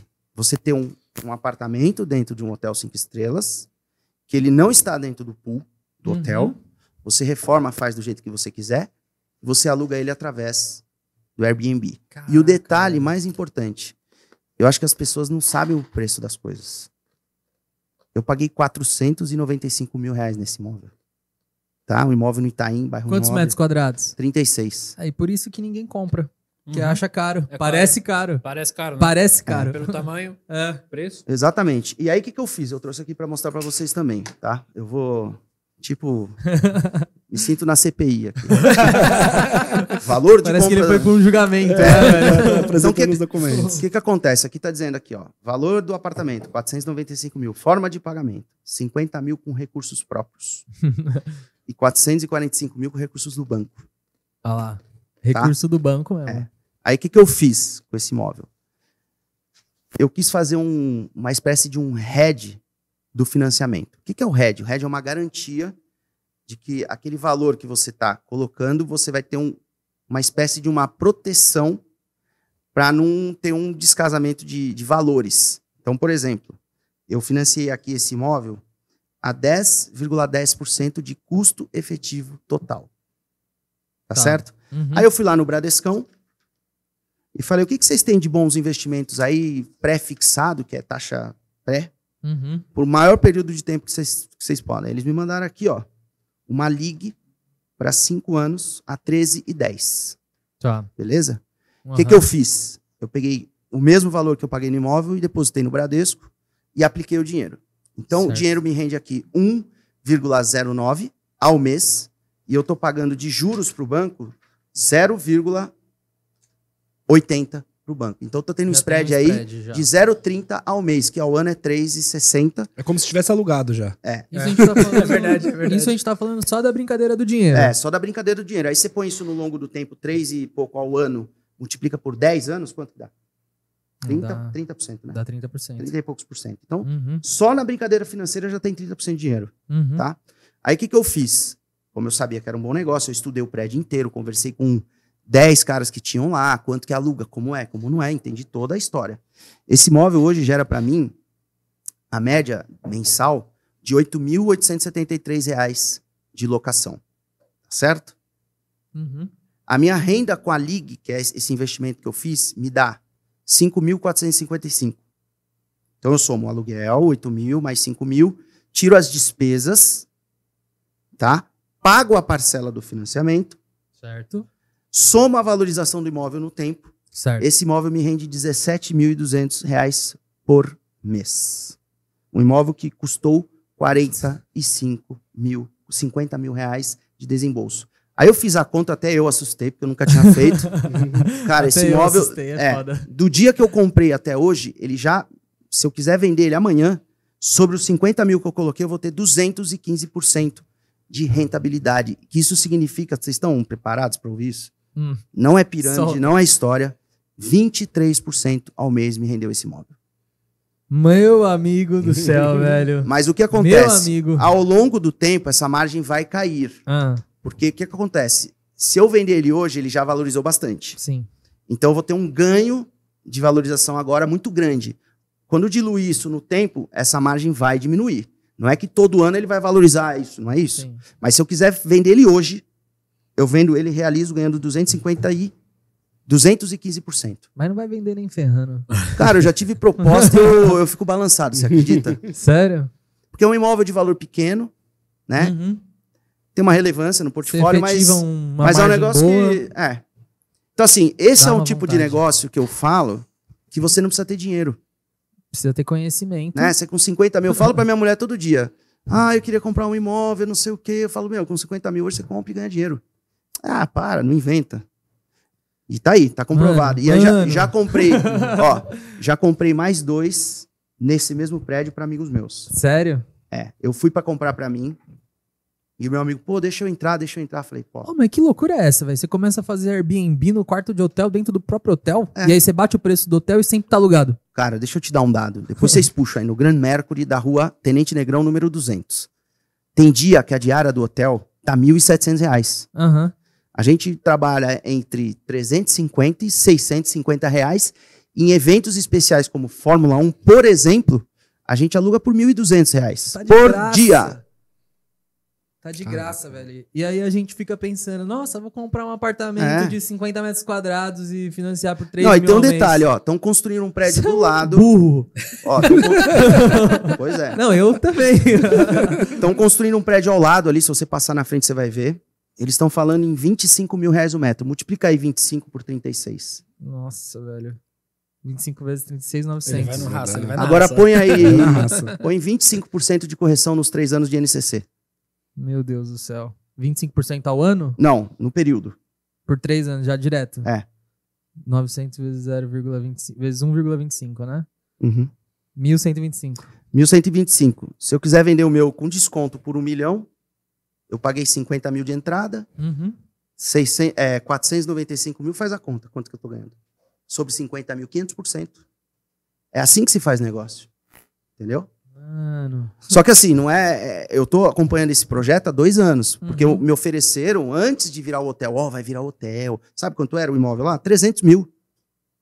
Eu falei, eu prefiro pagar mais, tendo a certeza do que vocês estão me vendendo, do que comprar agora e depois ficar chorando que o negócio não virou hotel, Isso daí que não deu certo. já é um resquício de que os hotéis estão devagar, né? Porque se eles estão vendendo quarto assim, Não, eles não, não. precisando de caixa. Não, não é isso. A história é o seguinte: o prédio era de uma família Aham. E o hotel comprou. que não era de um hotel. Tá, então é uma situação muito específica É, também. a família vendeu 70% do prédio para uma rede hoteleira. Tá. E 30% ficou com eles, a propriedade. E eles começaram a vender, vender, vender. E um monte de gente comprou. Uhum. Entendeu? E eu fui uma delas. Eu já tenho três imóveis comprados nesse prédio. Porque lá é difícil de ter para vender, entendeu? Uhum. Então eu fui comprar o segundo, meu amigo, pô, me ajuda. Sabe quanto eu paguei no segundo? 465. Paguei mais barato que no meu. Não, é loucura. não, e se você parar como, pra é, fazer... como é que eu, e como é que eu faço pra dar pro meu amigo mais barato do que eu mesmo paguei? Eu falava, cara, você é muito gente boa, porque olha, não é paguei. possível. Eu paguei mais caro, eu paguei 495, ele pagou 465. Pagou 30 pau a menos. Mesma coisa, mesma configuração. Igual. Ctrl C, Ctrl V. Então, e o dele ainda acho que tá mais bonitinho que o meu, tá? Então a rentabilidade dele tá maior. Tá maior. Não tá, vou te explicar por quê. Porque ele tá indo no contrato tradicional. Ah, E ele, ele, ele, ele de alguma forma, ele, ele pôs um pouco de emoção no negócio. Então, assim, como é um puta lugar, um bacana, e ele mora, ele mora fora de São Paulo. Uhum. Então ele gosta de usar, ele vem de vez em quando, então ele não consegue. Tá sentindo gostinho ainda de É, ser um cara do ele, mercado ele não consegue ainda fazer um negócio pra ganhar dinheiro. O negócio dele é. Aham. Eu falo assim: meu negócio não é diversão, meu negócio é locação. É, tá vendo? ó? Se a gente for fazer a segunda temporada de Airbnb, não é pra ficar indo no chalezinho todo final de semana, não, viu? É pra deixar o negócio alugando, velho. É, exatamente. Entendeu? Então Caramba. esse é um caso que, cara, Não, e se você for parar pra pensar, você só tirou 50 pau do bolso Para pra pensar qual foi o payback. Já voltou. Tipo, voltou. o payback foi tipo Não, seis eu- meses e Eu tirei 50 pau, eu ganhei você 8 ganhou um patrimônio do Ó, cacete, eu se ganho- pagando sozinho. É, eu ganho 8 pau, 8,800 por mês de aluguel, tirando as despesas, me sobra 5 e pouco. Multiplica por 9 meses, que é o período que eu tô lá, eu já ganhei os 50 mil e mais um pouco. Mas peraí, né? Tem, tem, tem alguns anos de experiência nisso aí também. Não dá, vai É. achar que é, ah, vou ali, vou comprar e vai dar Não, tudo isso. não. Não é assim, né? Não, mas, meu. É, exatamente, É. esse é o ponto. Tem Que é galera importante, que- Porque senão e parece tem- que é fácil, tem- né? Ele, ele falando assim, parece que é simples. É só ir lá É. comprar um imóvel, dá 50 mil, faz o negócio É. do banco e dá tudo certo. Ah, Não, mas tem uns anos de experiência, tem dois anos que eu tava paquerando o prédio, esperando o momento certo pra entrar. Porque não era só o prédio virar hotel, era o prédio virar hotel e dar certo. Uhum. Tem isso também. Eu acho que um grande ingrediente também de quem investe no mercado imobiliário é paciência, né? Nossa, muito. Porque, de verdade, não é um negócio fácil. E quem é jovem, tipo eu, assim, a, a pessoa mais jovem, ela já é naturalmente mais ansiosa, parece. Todo mundo Sim. que nasce já tem TDAH, já tem problema pra É, hoje em cacete. dia tá, você nasce com esse Né? feature já. Não, É. você já nasce com isso. Ah, você não tem TDAH, então não dá pra Não, é, não dá contratar. pra conversar aqui. Não dá pra contratar. Você tem? Ah, então você é o candidato certo. Vem aqui. Não, e hoje, meu, é cada vez mais difícil você esperar as coisas, né? Você fala, pô, namorei dois anos um, um empreendimento pra eu fazer investimento. Puta, o jovem de hoje em dia, mano, já tinha passado pelo TikTok, pelo short, já tinha esquecido É. do prédio. Não, com certeza. As pessoas. Sabe um, um erro que as pessoas cometem sobre investimento? Ah, quando eu tiver dinheiro, eu vou investir. Aham. Não existe isso, cara. A primeira linha da tua, do teu orçamento de vida é guardar dinheiro. Que seja 100 reais por mês, não importa o valor. Uhum. Mas as pessoas fazem assim: quanto é meu aluguel, quanto é meu isso, meu aquilo. Putz, não sobrou, não sobrou. Esse mês eu não vou investir. Então você inverte, você põe na primeira linha o que você vai investir E vive com o resto. e vive com o resto. Piero, Você tem agora- que inverter a, a, a conta. Agora que você já é um cara mais experiente e tal, no começo você comprou o negócio à vista, fez loucura tal. Mas pra uma pessoa que tá começando, que tá decidindo, você acha que ela deveria comprar um primeiro apartamento? Ou ela deveria, sei lá, já tentar investir de alguma maneira, de outra forma? Ó, eu vou dar uma dica que é assim. Eu não, eu não fiz isso porque como meu, meu, meu patrimônio está muito grande em imóveis, né? A gente tem que respeitar a questão da... é, o Thiago chama de arca, mas eu falo é, Diversificação, né? a diversificação. Meu patrimônio está muito grande no mercado imobiliário. Então, assim, eu de jeito nenhum invisto em fundo imobiliário. Mas não porque é ruim. É porque eu já tenho muito imóvel. Então não faz sentido eu pegar e pôr mais dinheiro em imóvel. Mas eu diria o seguinte: você que está começando, com 100 reais você investe num fundo imobiliário e você vai ter a mesma sensação. Você vai investir, Certo. você vai ganhar lá um percentual que é o aluguel e tá tudo certo. O que, que eu acho que as pessoas não sabem? Cara, o negócio tem um portfólio, são imóveis, né? Tem os, os, os, os fundos de tijolos e os fundos de papel. O que, que é o de tijolo? É que existe o imóvel. Então você que está comprando um, um fundo de, de, de imobiliário que tem tijolo, não é simplesmente olhar lá, dá 12% ao, mês, ao ano. Que dá, isento. Mas tem que ver qual é o ativo que está por trás daquilo. Uhum. Porque o ativo, ele é a soma do aluguel mais a valorização. Uhum. Então, se você pegar um imóvel que paga muito aluguel, não nesses casos, provavelmente esse ativo não valoriza mais. E você Eu- consegue saber qual que é o imóvel, né? Vai atrás, Cara, descobre eu- o que, que é. É. Aí aí, tá o o que que eu- problema de eu quem digo- só olha dividend yield. É, então o que, que acontece? Você que quer começar no mercado imobiliário, começa pelos fundos imobiliários, mas se dedica, dá uma estudada, vê quais são os ativos, quem é o gestor, Pra quem tá alugado. para quem está alugado. Eu dou exemplo no, no, no- no curso ali, né, que a gente acabou de gravar. Cara, imagina o cara que está concentrado no fundo que alugava todos os imóveis para as lojas americanas. Nossa. Como é que esse cara está hoje? Feliz. O imóvel vai estar lá, ele não vai deixar de existir, o patrimônio vai estar lá. Aham. Mas a cota do fundo vai derreter. E se esse cara precisar de dinheiro, ele tá frito. Ele vai pegar um dinheiro bem menor do que ele investiu. Uhum. E lembrando, ele não vai ter resultado nenhum Uhum. até que eles realuguem para um outro, para um novo inquilino. Então, isso tudo é importante você analisar. Na hora que você está fazendo um negócio no fundo imobiliário, não ter concentração, quem é o, o inquilino, é, qual é o tipo de operação que o cara faz. Uhum. Pô, você está vendo todo dia notícia, lojas, Marisa fechou 90 lojas. Uhum. Riachuelo fecha a loja não sei aonde, não sei o quê. Aí você vai lá no fundo imobiliário, ah, qual que é? 30% do fundo tá alugado para Marisa. Você vai pôr dinheiro lá? É, o varejo tá meio assustador, né? Tá meio assustador. Então você tem que olhar o negócio. E, a- e aí os, os- os assessores financeiros, essa parte eles não mostram. Uhum. Eles só falam do yield, do resultado. Mas ele não mostra que tipo de imóvel, se tem, sabe? Mano, eu fiz exatamente isso, velho. Há uns anos atrás. Eu só Comprou, entrava lá na Eu carteira, mesma coisa. eu É. ordenava do maior pro menor, pro dividend É. yield e toma lá com a É Eu aprendi bastante aí. com o Thiago Nigo, com o Thiago Reis, né, com o professor Baroni. que Você tem que olhar o imóvel para quem tá alugado, se tá alugado Isso. 100%, quais são, quais são os imóveis, aonde eles estão alocados esses imóveis, Exato. É, se o valor da cota tá abaixo do valor patrimonial, quer dizer, o, título, o valor do- da cota tá mais barato do que vale se vender os imóveis. É. Então Eu- você tem que olhar não só uma coisa. E aí, por último, a rentabilidade. E aí, qual é o momento de entrar no fundo imobiliário? Quando a cota tá baixa. Uhum. Você, vou, vou explicar de uma forma bem simples. Você soma o patrimônio desse fundo, ou seja, os imóveis. Vamos supor que o fundo tem 100 milhões de ativos de valor, Uhum. né? E vamos supor que somando todas as cotas, o fundo está com 80 milhões. Você já tem 20 aí de gordura. Sim. Só que o cara espera chegar no 120 para entrar. É porque tá bom, né? Tá É. todo mundo falando bem. Lembra? Tem que entrar na baixa, não na alta. E as pessoas erram aí. E todo mundo entra na alta Uhum. e quando baixa, se assusta, sai e realiza perda. Então, não Tem um jeito. emocional envolvido aí também. É. Tem. Tem um medo de perder. É porque é muito Exatamente. fácil você falar, não, depois que tudo passou, você fala, podia ter feito isso. É. O difícil é você tomar a decisão naquela hora. É, eu, eu É. comprei um imóvel um tempo atrás, né? Você lembra? Te falei? Imóvel pra morar? É. Mas fui nessa de ter a casa, né? Comprei Uhum. a casa em Mogi das Cruzes. Paguei 468 mil. Tinha 530 metros quadrados. Uma loucura. Não, mas pelo preço do metro, comparando com o Itaim aqui, Comparando mil com o reais o Itaim, metro, pô. Mas eu fui só por causa disso. Só que qual era o problema? Eu ficava duas horas e meia do meu escritório. Era quatro horas de carro todo dia. Esse é um problema mesmo. Deu né? errado. claro, claro que deu errado. Mas eu pagava o quê? Pelo, eu fiz pelo banco na época, eu paguei 8,8 por ano É bom? de taxa. Tava bom, bom. pelo Uma taxa Bradesco. boa. Tava muito, mas eu não tinha a menor ideia do que eu tava fazendo, eu só comprei. Tipo, ah, Foi na emoção. Minha casa. Não, era a mesma pegada do Piero. Tipo, o primeiro imóvel que você compra, que foi o primeiro imóvel que eu comprei. Eu comprei. Pô, tô feliz, tem um imóvel, que da hora. Dá uma seis sensação meses, boa. Foi embora. mas não por causa de dinheiro, né? Por causa que eu precisava voltar, porque não, não tem condição alguma de você trabalhar muito longe. Muito Não dá. longe, né? Não dá. Uma coisa que eu queria agora, vamos pegar um pouquinho no Eduardo agora, né? Porque a gente falou bastante das rentabilidades e tal. Mas o que, que tá vindo de novo? Porque o mercado imobiliário, a gente até recebeu é, um comentário esses dias, né? Que o mercado imobiliário fede de tão velho. Fede, fede a que mofo. não tem, que fede a mofo, porque não tem novidade, não tem tecnologia.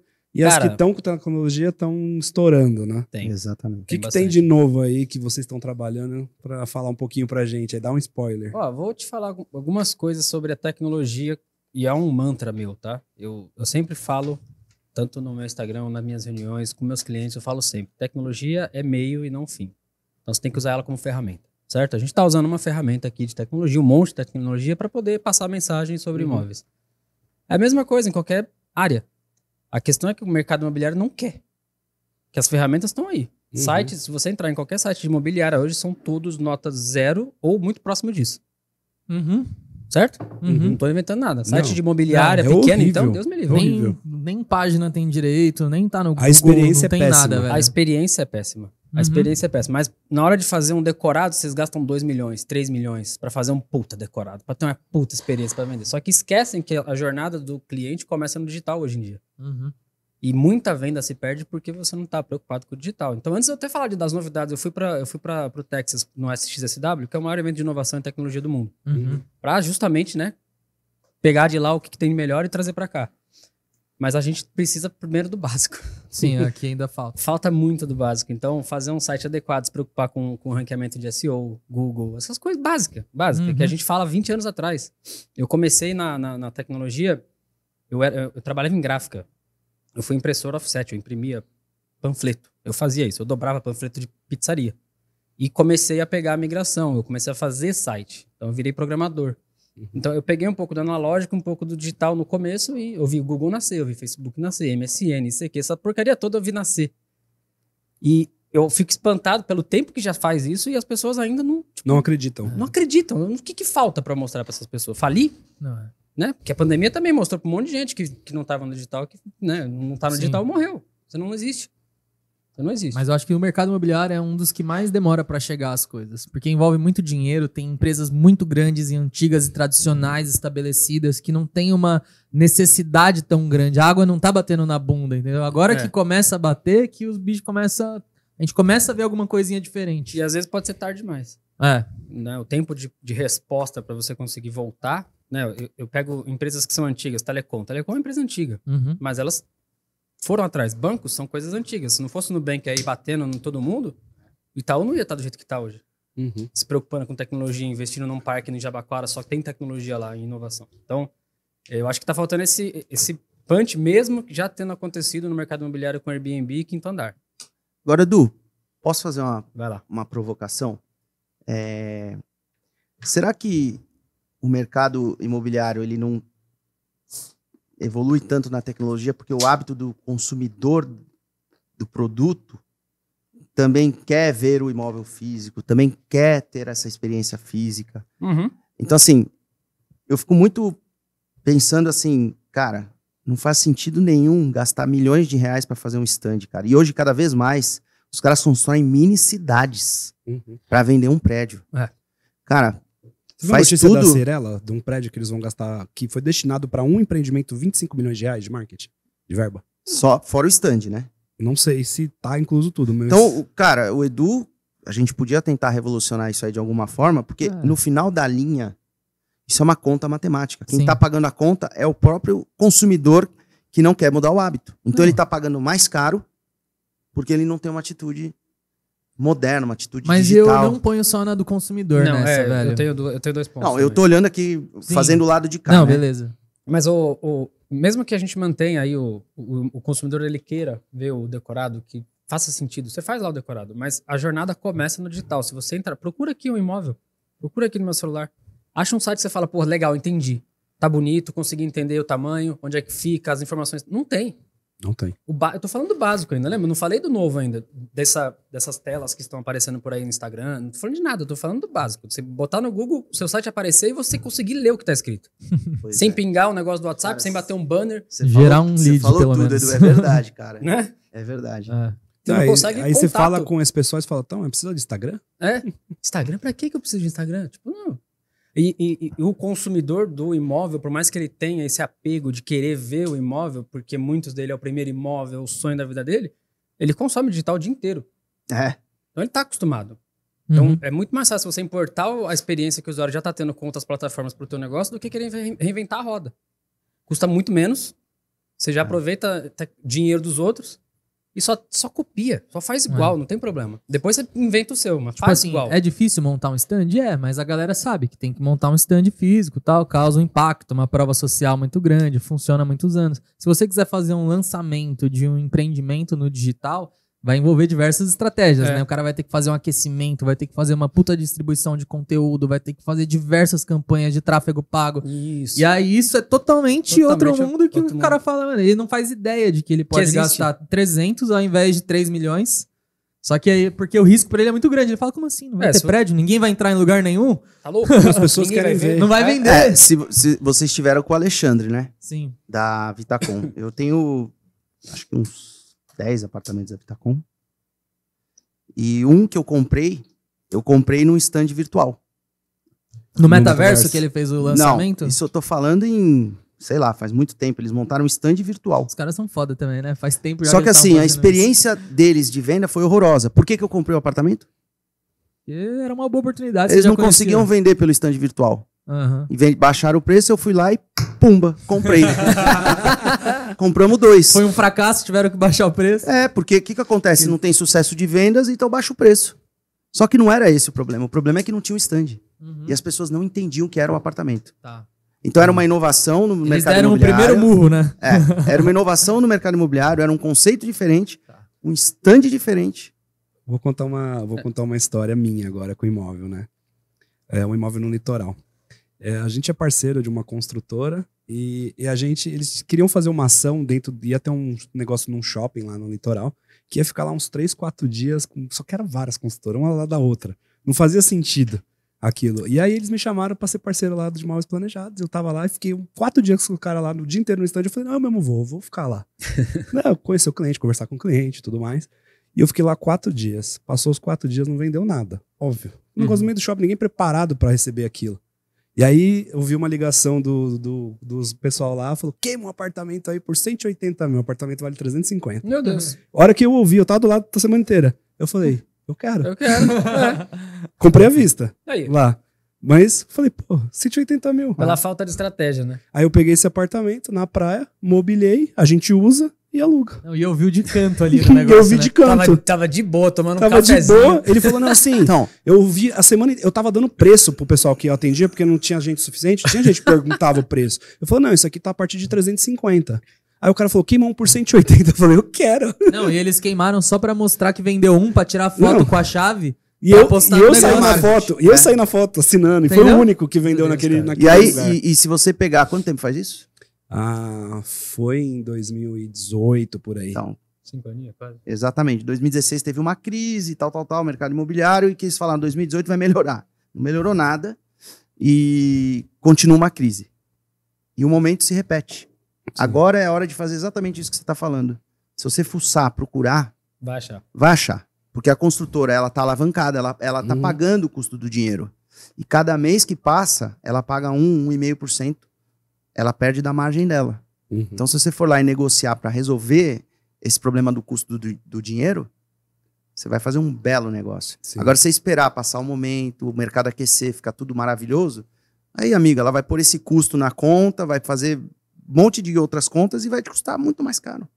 Então, a hora é agora. É, É, é, Tá todo tá- mundo tá aparecendo assustado. boas oportunidades. Sim. Eu estava pesquisando casas para morar o ano passado. Tava tudo, tipo, 1 milhão, 900 mil, as que eu estava olhando. Na região ali perto da minha casa, ali, sobradinho, não era nada demais. Eu tava pesquisando uma mansão. Todas essas estão por 790, 750 agora. Agora. exato. Todas. Passa lá e fala 600 à vista para ver se não vai. Não vai. Não leva, né? Dois anos ali. E a É que- vista é em 10 vezes, né? É que eu vezes desisti, eu desisti de morar em casa na rua, por isso que eu parei e não tô olhando. Não, eu, eu, eu, também, mandei eu assim pro cara semana retrasada, né? Falei assim, ó, eu vou te pagar metade à vista e a outra metade eu vou te pagar à vista. em 10 de 240. Todas à vista. Aí ele falou, mas não é à vista. Eu falei, não, mas no mercado imobiliário 10 vezes é à vista. Aí ele, ah, é? É. Eu falei, então tá bom. Legal. Tem o João Gondim que ele, con- ele- maluco. ele conversando aqui comigo, que ele falou assim: Não, eu fui vender um negócio eu falei que parcelava em duas vezes. Ele, sim, parcela em duas vezes, uma de manhã e uma pra tarde. É isso. Eu gosto de negociar assim também. Eu Essas negociações tem que ser maluco. Pô, o cara fala assim, à vista é o mesmo preço que 10 vezes. Não. Se você pagar à vista, você não tem juízo. É. Só de raiva, né? Fala, vou pagar parcelado. Não, é, compensa. E agora tem o, o fenômeno Pix. Aí tem essa também. Nossa, eu tô comprando agora que a gente tá reformando alguns imóveis, aí você vai lá comprar um, sei lá, uma televisão. Aí você entra no site 5.990 em cinco, Até é, 12 vezes. até 12 vezes. Se você pagar em uma no cartão, 5.700 e pouco. Se você pagar no Pix, 4.100 reais. É. Você fala, tem alguma coisa errada aí. O que que tá acontecendo? Né? Uhum. Aí eu vejo dois motivos. Um, o varejo tá passando nervoso e tá precisando de caixa. Sim. Então o cara, o 4 mil, a- o mil a menos que você paga do 10 vezes no cartão É, é mais negócio do que ele vender em 10 vezes no cartão para você. É o preço do dinheiro presente. que é o né? que ferra o varejo, é isso. Ah, Porque ele paga, ele vende a prazo, paga quase que à vista, e quando ele vai recomprar o produto, Tá mais caro. aumentou caro. X% e ele não consegue. É o custo de reposição. Não, E e aí tem a pronto. taxa, né? Tem taxa É. do mercado, tem taxa do, da maquininha do cartão, da bandeira, da, né? Todo mundo tem taxa. Ah, eu escuto o Barsi nessa, que ele fala que o, o varejo tá, tá, tende ao fracasso. Entende? Não, você escutar o Barsi falando disso, você Você fala, não cara. compra nunca. Você- Não, e desiste tem de gente viver, ainda que não. compra. Tem cara que comprou Mas ele já falou Magazine que Luiza investe... 100 reais, hoje quanto que vale? 3, 2, 1, 0, morreu. Mas o Barça também já falou que não investe em construtora, viu? Eu fiquei meio É, assim. Eu também- falei, ó, acho que ele não conhece muito bem. Não, mas eu acho que investir. É, assim, Polêmica, polêmica. As Eu acho construtoras que- são muito alavancadas, é um risco grande. ó, tem uma frase que o. Eu fiquei pensando, por o que cara, não? O cara fala, ele fala assim: se imóvel fosse bom, a construtora não vendia. Né? Só que é tão bom. Se imóvel fosse bom, a construtora não vendia. Porra, Só o cara que- pegou aquela do, do Vou botar essa numa camiseta, pô. A gente tem uma lojinha agora da minha casa que tem umas É camisetas mesmo? com as frases. Anota, anota, O Matheus tava com uma ali fora. se ali. imóvel fosse tão bom, a construtora não vendia. Essa é boa, velho. Vai ser do Piero essa Pode camiseta. anotar aí. Arroba Piero I. É, a. E aí que acontece? É tão bom que eles vendem. Porque o cara paga um e vende por dois, por que, que não vai vender? Só se for tiver algum problema. Tá certo? Tá certo. Então esse é o, o negócio. Constru- Incorporação dá muita grana, gente. Porque o cara não põe um real, entre aspas, Uhum. ele tem que gastar ali, investir o. Normalmente ele pega o, o terreno como permutante, né? O dono do terreno pega algumas unidades. O incorporador é o cara mais. E é onde ele ganha que dinheiro. eu vejo, velho, É. que existe. Aí mano. ele só gasta o dinheirinho ali para desenvolver o projeto, ele paga o arquiteto, paga desenvolvimento e monta o stand. Aí quando começa a vender, ele começa a pagar o Captar banco e mais, tirar o dele. Coloca nessa listinha o stand virtual agora, que a gente É. fez, um, Uhum. fez um negócio novo. É, isso é legal. Vai ser legal. Eu quero saber dessas estratégias aí que Eu tenho um, usam. um imóvel que, o- que o cara quer comprar, né? Aí eu- ele me liga e fala assim: Ah, eu posso visitar? Eu falei, lógico que não. Comprei na planta, eu também não vi. Por que, que você quer ver? Tem a foto, quer ver foto? Pô, você é mó educado. Ele falou: Não, cara, é que tá alugado. Se eu mandar você lá, o inquilino vai ficar incomodado. É, Eu comprei na planta, também não vi, cara. E ó, fiz um puta negócio, tô te recomendando. O cara dá até mais valor. Ele fala, mano, o cara foi sincero. velho. Faz sentido, faz sentido. Comprou na planta. Eu não vi. Eu não vi quando eu comprei. É. Eu vi na planta, lá um projeto. Um projetinho que quando você Isso chegou, é tava chamar- só no chão, batido, É. sem nada. Isso é a maior dificuldade, né? Que você vai na planta. No, no nosso caso, por exemplo, a gente mora no mesmo prédio, né? No meu, eu moro na Torre B, ele mora na Torre A. E a gente tem quatro subsolos. A Torre B, o elevador desce até o menos três. A Torre A só até o menos um. Eu Quem que sabe disso na isso, planta? mano. É mesmo? Ele, o carro dele tem que parar no menos quatro, ele tem que descer até o menos um, Eu passo, atravessar passo um passeio, pro outro, Pro pro B, outro Pô, prédio. nem fala onde pra é pra descer. gente não desvalorizar o imóvel, hein? É. Não, não vou falar. né? Nossa. Mas tem que Mas ó, descer. compra na Torre B, né? Não, e quando tem, quando tem sorteio. Compra na eu- Torre eu, B, Eu sou da Torre B, ele é da Torre É. Foge da Torre A, hein? É, e aí, você não tinha como saber isso no, no stand de vendas. Não, mas se você o ler o pessoal memorial, indignado. se você ler tudo ali, vai estar escrito. Não, É, provavelmente. Não, que provavelmente eles não, com certeza. Aí o que, que eles galera- fazem pra compensar? Eles colocam um mini mercado do lado da Torre A. Não, mudaram agora, né? Mudou de Mudaram, novo? porque- não, mudaram pra Torre A, porque o mini mercado Ah, é. era na Torre B também. Pelo menos você tem que andar até lá, até no mercado. Agora tem que até É, lá. mas é o prédio da galera saudável, né? Você vê a diferença aí. O cara anda, o cara anda três andares de, de, de, de- de garagem a mais por dia, olha o resultado. Não, é. Desculpa Mas a aí- brincadeira. Não, imagina, eu não ligo pra isso, não. Ah, Não, a gente tá mas a- bola mas aí, na- quando a gente tem sorteio de vagas, dá uma briga. Porque a galera da Torre B consegue, pode ficar com qualquer andar, que tá tranquilo. Eles não. E aí fala o pessoal sempre fala, pessoal, dá preferência pro pessoal do bloco A ficar com menos um. Pau. Mas aí você olha, aí você, aí você olha, ponta de vaga merda, e aí no, no- no menos um tem uma vaga de frente pro elevador. Você fala, porra, menos um, né? Não, eu, eu- eu sou um cara que eu, eu, eu, eu gosto muito de carro também, né? Hoje não mais. Gosto um pouco. É, e quando eu fui comprar um imóvel, eu sempre escolho as vagas, né? E isso ninguém presta atenção. Não, é verdade. E eu fui lá, peguei a planta das vagas, que o, o dono da consultora é meu amigo. Eu falei, ó, quero essas cinco aqui, ó. Essas cinco. Só que eu não prestei atenção que tinha umas vagas de moto entre uma vaga e outra. Nossa. E eu sou super assim com meus carros, né, meu? Puta. Aí falei, a hora que ficou pronto o apartamento, eu fui lá no contrato, falei, não é possível que eu começar a Tava lá, vaga de moto. Tive que comprar duas motos. pra deixar lá pra ninguém chegar perto dos meus carros. Tive que comprar duas motos, é foda, velho. É verdade. Eu queria ter esse problema, velho. Cara, porque eu não, não gosto nem que chegar perto, entendeu? E eu fui lá, comprei duas motos e pus nas vagas de moto Tive um e. problemão. Comprei imóvel, tinha moto. Tive que botar duas motos. Porra, Eu não acreditava. E eu falava, meu, sou apaixonado por moto. Não, mas só Ai, tem mano. 10 vagas de moto no prédio inteiro, você já tá usando duas. Eu falei, porra, bicho, eu amo moto. Veja bem. Aí, ele um- nem anda aí um dia eu saí pra andar, voltei, tinha uma moto de um cara. Eu falei, fudeu, o que que eu faço? derruba. Porque a vaga não é determinada, né? Aí eu falei, ô, você se incomoda de pôr na outra vaga? Que aqui eu uso, então, tal. Aí resolvi. Hum. Então, assim, tem muita pegadinha. Por Sim. isso que É, tem que tomar cuidado na hora É. de comprar. É o que eu tava falando. Tem essa dificuldade que a gente passou, né? Que descobriu depois. E tem, tipo, você nunca sabe como vai ser a sua vista, independente do andar. É. Né? É uma coisa. A gente não tem a noção disso. Porque, pô, legal, desce pro primeiro andar. Mas o que, que eu vou ver? É, hoje, Quando hoje, você tem um hoje... prédio pronto, você consegue. Não, isso Não, mas, ajuda ó, pra vender eu vou- apartamento. Então velho. eu vou te dar uma Ajuda. dica simples, tá? Se Manda você e-mail pra mim. man- manda e-mail pra mim, aí eu vou falar assim, pede pra ver o prédio do lado, fala que você quer comprar, sobe até o décimo primeiro e olha. É uma dica. Ou pega um drone, zzz, sobe até o décimo primeiro, faz um vídeo e você vai saber a vista que você vai ter. O que não dá pra prever é se um dia vai nascer um prédio ali na frente, se vai ter. Ah, mas aí já é outro problema. Aí já é outro Ah. problema. Mas a gente fez um, um- um projeto desse, usando o Unity. Unity é, Usando o quê? Unity é uma, uma engine que, que é para jogo. Todos os jogos que você vê aí, PS5, Xbox, é tudo usando o engine. Então, tá aquele, aquela qualidade 3D você faz usando o Unity. Aham. A gente fez um desse para um cliente nosso, que é uma incorporadora. É incorporadora, né? É. É uma incorporadora. Ele fica até chateado se você chamar ele de construtora. É, então, Já Uma- passou já dessa É. etapa? é uma incorporadora. E, e o projeto foi feito nesse. Baseado num projeto de videogame, a gente fez o decorado dele. Então a Uhum. pessoa passeia com um bonequinho lá dentro, em primeira pessoa, andando pelos corredores e tal. tem- é tudo bonitinho. E a parte de fora, para ele ver a vista, é foto real, feita com drone. Ah, sem Então, a série gente no infe- a gente 3D lá. mete o 3D, aí você consegue ter uma vista também da posição do sol, onde é que fica o sol na janela, que tem pessoas se preocupam muito com isso, né? O sol nasce aqui, não nasce Sim. aqui, sol da tarde, sol da manhã. Aí você consegue ficar brincando, você vê todos os. tudo em volta, né, do, do prédio, o que, que tem de, de lazer, é, parque, estacionamento, hospital, escola. Tipo, ele mostra uma visão fora do prédio e dentro do prédio com vista real. Em todos os horários também. Então você consegue ver durante o dia, tarde, noite. É um step acima desses tour 360 que a gente vê É aí, muito que acima. todo mundo já Você faz. usa o- dá pra você usar com óculos VR ou só pelo computador também.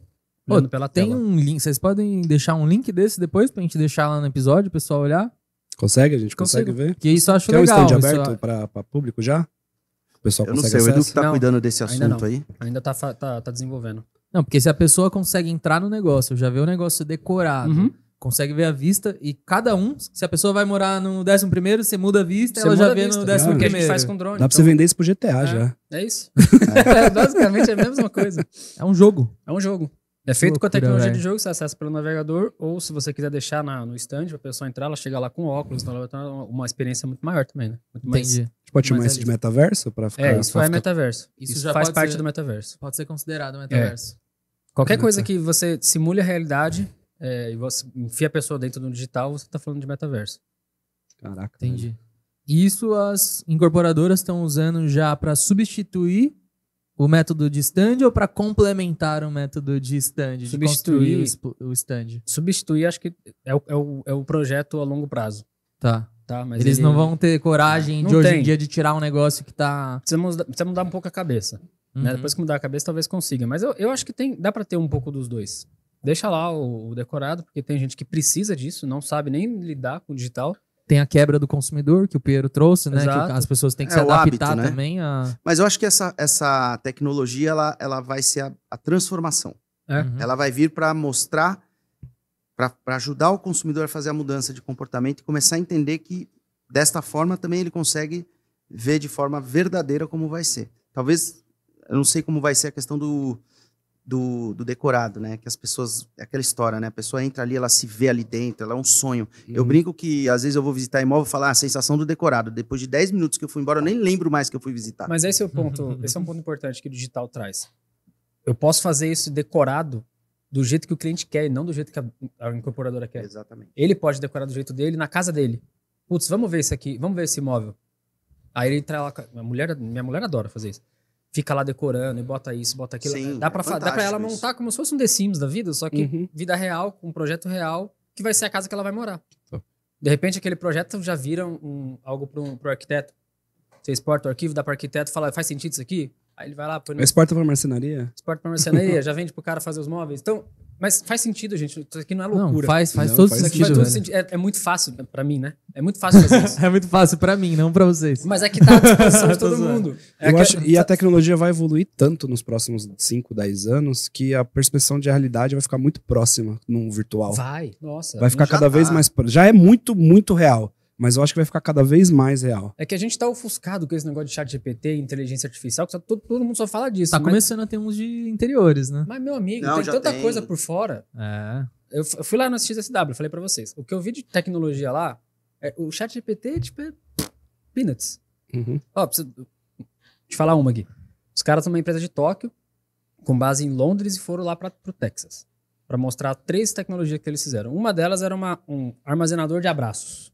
Já viu isso? Não, mas a, a Dilma deve gostar, porque deve dar pra colocar vento também. Baseado na tecnologia da Dilma, eles criaram um armazenador de abraços. Mas é Precursora louco, dessa tecnologia. É, mas assim, che- che- chegava lá no evento, aí tá um manequim, manequim de roupa normal, tipo o Bob. Sabe o Bob que você dá as porradas? Sim. Sem braço, sem nada. Eles meteram um colete nele e uma, uma pessoa normal vestia um outro colete e botava um capacete com um monte de de coisa, de, de receptor aqui, né? Uhum. Neural. E é tudo iluminado. Então, conforme você ele ia captando os, os, os sensores aqui no, no seu cérebro, ele ia mandando, mudando as cores. Era uma loucura. E tinha os, os cientistas ali mexendo e mandando os dados que você estava sentindo para aquele colete do, do boneco. Aí ele falava, chegava um determinado momento e falava, você vai abraçar isso aqui por um minuto. Aí as pessoas lá ficavam abraçadas com a porra do boneco. E eu lá de fora assistindo. Que merda que tá acontecendo aqui? tipo, eu cheguei, todo mundo vai falando inglês e japonês. Se abraçando. Uma loucura, se abraçando, abraçando o boneco. O boneco acendia. Eu falei, velho, que, que loucura. Esses americanos são muito carentes. Onde é que eu tô? Aí, beleza. Aí passou, ficou lá, o pessoal tirando foto, não sei o que. Eu fui falar, cara, eu falei, o que, que é isso aqui? O que tá acontecendo? Aí ele falou, não, velho, isso aqui é uma tecnologia que a gente tá usando pra eternizar abraços. Então, você tem alguém que você gosta muito, ou você vai se mudar para outro país, você armazena esse abraço nesse colete, e a pessoa, e você manda pra pessoa de presente.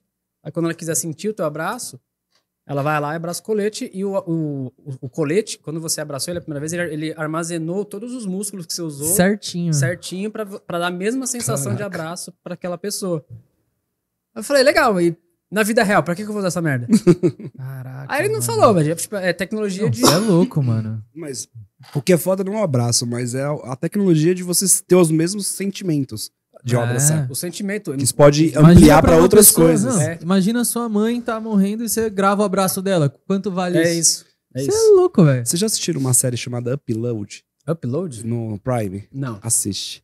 Você consegue, quando você morre, você consegue se transferir para um metaverso que você faz um upload pra ele. E aí tem vários, que é os de pobre, os de rico, os cinco Ah, estrelas. mas tem E o... nesse upload você pode comer o que você quiser, você faz o que você quiser o dia inteiro e você E- tem uma vida ideal. E tem uma forma das pessoas entrarem nesse upload através de uma roupa sensorial. A menina ficava dentro da banheira lá Hum. e conseguia falar com o namorado, conversar, fazer coisa, fazer o Tem que um- quisesse tem uns Black e ter os mesmos também. sentimentos. Nossa, Procura, chama upload, é muito Vou boa. procurar. Eu assisti um Black Mirror esses dias parecido com isso. Sim, Que a, a menina tinha morrido. Era uma velhinha que tinha Uhum. morrido também foi pro. sim. Um E o cara consegue ter contato com, com a pessoa que morreu. Daqui a pouco a gente vai encerrar aqui já. Eu queria só complementar aqui a provocação que você trouxe desse 3D, de trazer Uhum. as pessoas pro tour. Porque eu também sempre penso muito nisso. Eu acho que isso ajuda muito a vender. Sim. Tudo, né? Marcenaria, imóvel pronto, tudo. É, mas eu vejo que tem um desafio de operacionalizar isso em relação a projetos. A, porque, igual você falou, a pessoa consegue entrar no empreendimento e olhar do jeito que ela gostaria, mas o arquiteto não teria feito o projeto, não teria nada disso para conseguir personalizar, né? Sim. Então eu vejo que talvez o grande pulo disso vai ser quando a gente conseguir trazer essa personalização de maneira fácil, sem ter que o arquiteto fazer o negócio, sem ter que a marcenaria desenvolver tudo no Promob o negócio pro cara ver. E aí realmente a gente usar isso para tudo conseguir plugado. vender. Mas eu acho que o BIM já trouxe isso, né? Que é essa plugar um monte de coisas, né? Sim. Então, eu acho que tem, tem processos já acontecendo pra isso acontecer, mas eu acho que a gente ainda tá um pouco distante. Eu ia perguntar quanto tempo ele acha que a gente vai chegar num negócio desse, assim. Porque Tipo- hoje a gente que tá no mercado imobiliário sofre muito com o tempo das coisas. Uhum. A pessoa demora muito para projetar. A pessoa, o projetista demora sete dias para fazer um projeto da casa. O arquiteto demora 15. Entendeu? Aí eu fico imaginando, imagina uma inteligência artificial que você coloca a característica do imóvel, ele vai mudando já, muda a vista. Porra, se a pessoa não gostou da decoração, você muda a decoração. Se não gostou da vista, muda a vista. Pá, e agora? Você gostou? Então compra. Loucura, né, velho? Agora que você gostou, deixa que os- o Pix segue, segue o Pix. segue a entrada, mas eu não vejo isso muito longe, não. Assim, falando de tecnologia, você eu, eu consigo chegar em casa hoje e falar, fala, galera, vamos fazer? Vamos. Dá pra fazer. Falta Hum. mesmo é, é- é É orquestrar o projeto. Tempo e- e dedicação pra, pra focar nisso, né? Alguém precisa comprar o projeto. Né? Eu, como uma empresa de inovação, eu não vou fazer isso só porque eu acho legal. Eu vou fazer isso para algum cliente que faz sentido, que ele vai, vai ajudar a ganhar Que dinheiro. vai porque- rentabilizar para ele. vai Você rentabilizar criar sem ele. conseguir rentabilizar. Exato, para mim não serve. Sim. Então eu preciso de gente que esteja disposta a entrar no digital, né? Que inovação ela tá lado a lado ali a correr risco. Você tem que correr risco. Você- O cara que é inovador, ele corre o risco de dar errado. Mas ele também corre a grande chance de dar certo. Entendi. E ser o primeiro. Quem é primeiro, cara, é copiado depois. Isso aí.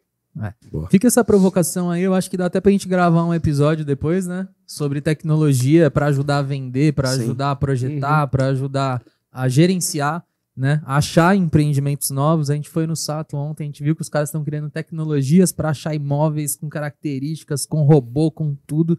Então tá começando esse negócio. Sim, hein? sim. Tá sim. Vai, isso vai ser cada vez mais forte, mais Traz o rápido. Edu depois uma Boa. outra vez aí pra falar sobre isso. Boa. É Isso aí. Pra deixar uma mensagem final pra galera, Pereira, pra gente encerrar. Cara, eu acho que as pessoas não precisam ter medo de investir no mercado imobiliário, porque é um mercado muito resiliente, que dá muito resultado a longo prazo. E aproveitar o momento que o mercado está em baixa para fazer bons negócios. E quando o mercado estiver em alta, vender aquele bom negócio que você adquiriu na baixa. Exatamente. E não ao contrário. Isso aí. E também queria falar para vocês que a gente tem um curso que a gente já gravou, já está Uhum. gravado. E logo mais a gente vai lançar um curso como enriquecer com o mercado imobiliário. Sou eu que, que dou esse curso. É um curso bem é, simples, objetivo, com vários cases E com documentos. e com E com documentos. documentos. Comprovando. E que, Edu, se eu não me engano, uma hora e meia né, de curso. Mercado imobiliário de Em maneira geral. módulos, né? Dá um pouquinho mais. Tem bônus, tem um monte de coisinha. É. né? Vai dar umas duas horas e pouco. É de maneira geral, assim, mercado imobiliário ou tem algum foco? Não, é mercado imobiliário, a gente conta aí os, os, os modelos de investimento, como que é, como não é. Melhor momento, qual que é a melhor forma de adquirir, comercial, residencial, o- o rural, Rural. tudo. A gente passa por todos. Então, se você tá perdido aí, não sabe por onde nem começar, Exato. esse é o curso Esse de curso te nivela. te nivela É. e te dá um auxílio pra você começar, se você não quiser começar com o Pedro no escuro, né? Exato. Exatamente. Não começa errado, né? E com uma autoridade que tem muitos e muitos imóveis. A gente nem sabe Skin quantos. the game. Skin the game. No curso fala. Curso Quantos fala. imóveis ele É, tem? então, se você quer saber, se você que quer saber quantos imóveis o Pedro tem, Vai lá vai no lá no curso. Compra o curso, vê lá quantos tem e depois. Depois você conta pra nós. É. Gente, muito, muito obrigado pela Imagina, participação de vocês. Vocês são convidados aqui ilustres do Mi Casa, estão sempre convidados para vir. Então vamos falando aí pra gente até fazer mais coisas juntos. né? Boa, vamos sim. Isso aí. Prazer estar vocês, aqui, prazer. uma honra. E obrigado mais uma vez aí pelo, pelo convite. E eu quero, na próxima, na próxima gravação, eu vou trazer o arquiteto. Eu vou trazer Boa. uma arquiteta, Boa. que é a que faz as coisas no final do dia. Porque assim, eu sou um investidor, Uhum. eu tenho a visão do negócio, eu tenho uma metodologia de investimento. E a arquiteta é peça fundamental para qualquer investidor. Isso aí. Né? Porque não adianta só comprar, fazer um bom negócio. Tá, mas e aí? Você precisa transformar o imóvel, deixar ele lindo, Tem que ter as peças certas ali, né? saber pra como fazer isso. investir, não extrapolar no investimento. Então, ela é, ela é uma arquiteta que eu admiro muito. Ela fez 100% dos meus imóveis. Tá fazendo o meu também. Tá fazendo do Edu. Tá funcionando, né? Tá funcionando. tá funcionando. E, e eu acho que ela pode contribuir bastante para esse sim. processo, porque a, é a, a maior dor do investidor não é a compra e o negócio imobiliário. A maior dor do investidor é a reforma, é a transformação, é, a gestão. É isso que vai dizer se vai valer ou não, se a pessoa vai Exatamente. gostar ou não. É isso aí. E na terceira vez, vem preparado que tem boleto. Bora. Fechou. Pessoal, é isso aí. Né, Rodrigão? Até a próxima semana aí. Tchau. Obrigado e tchau.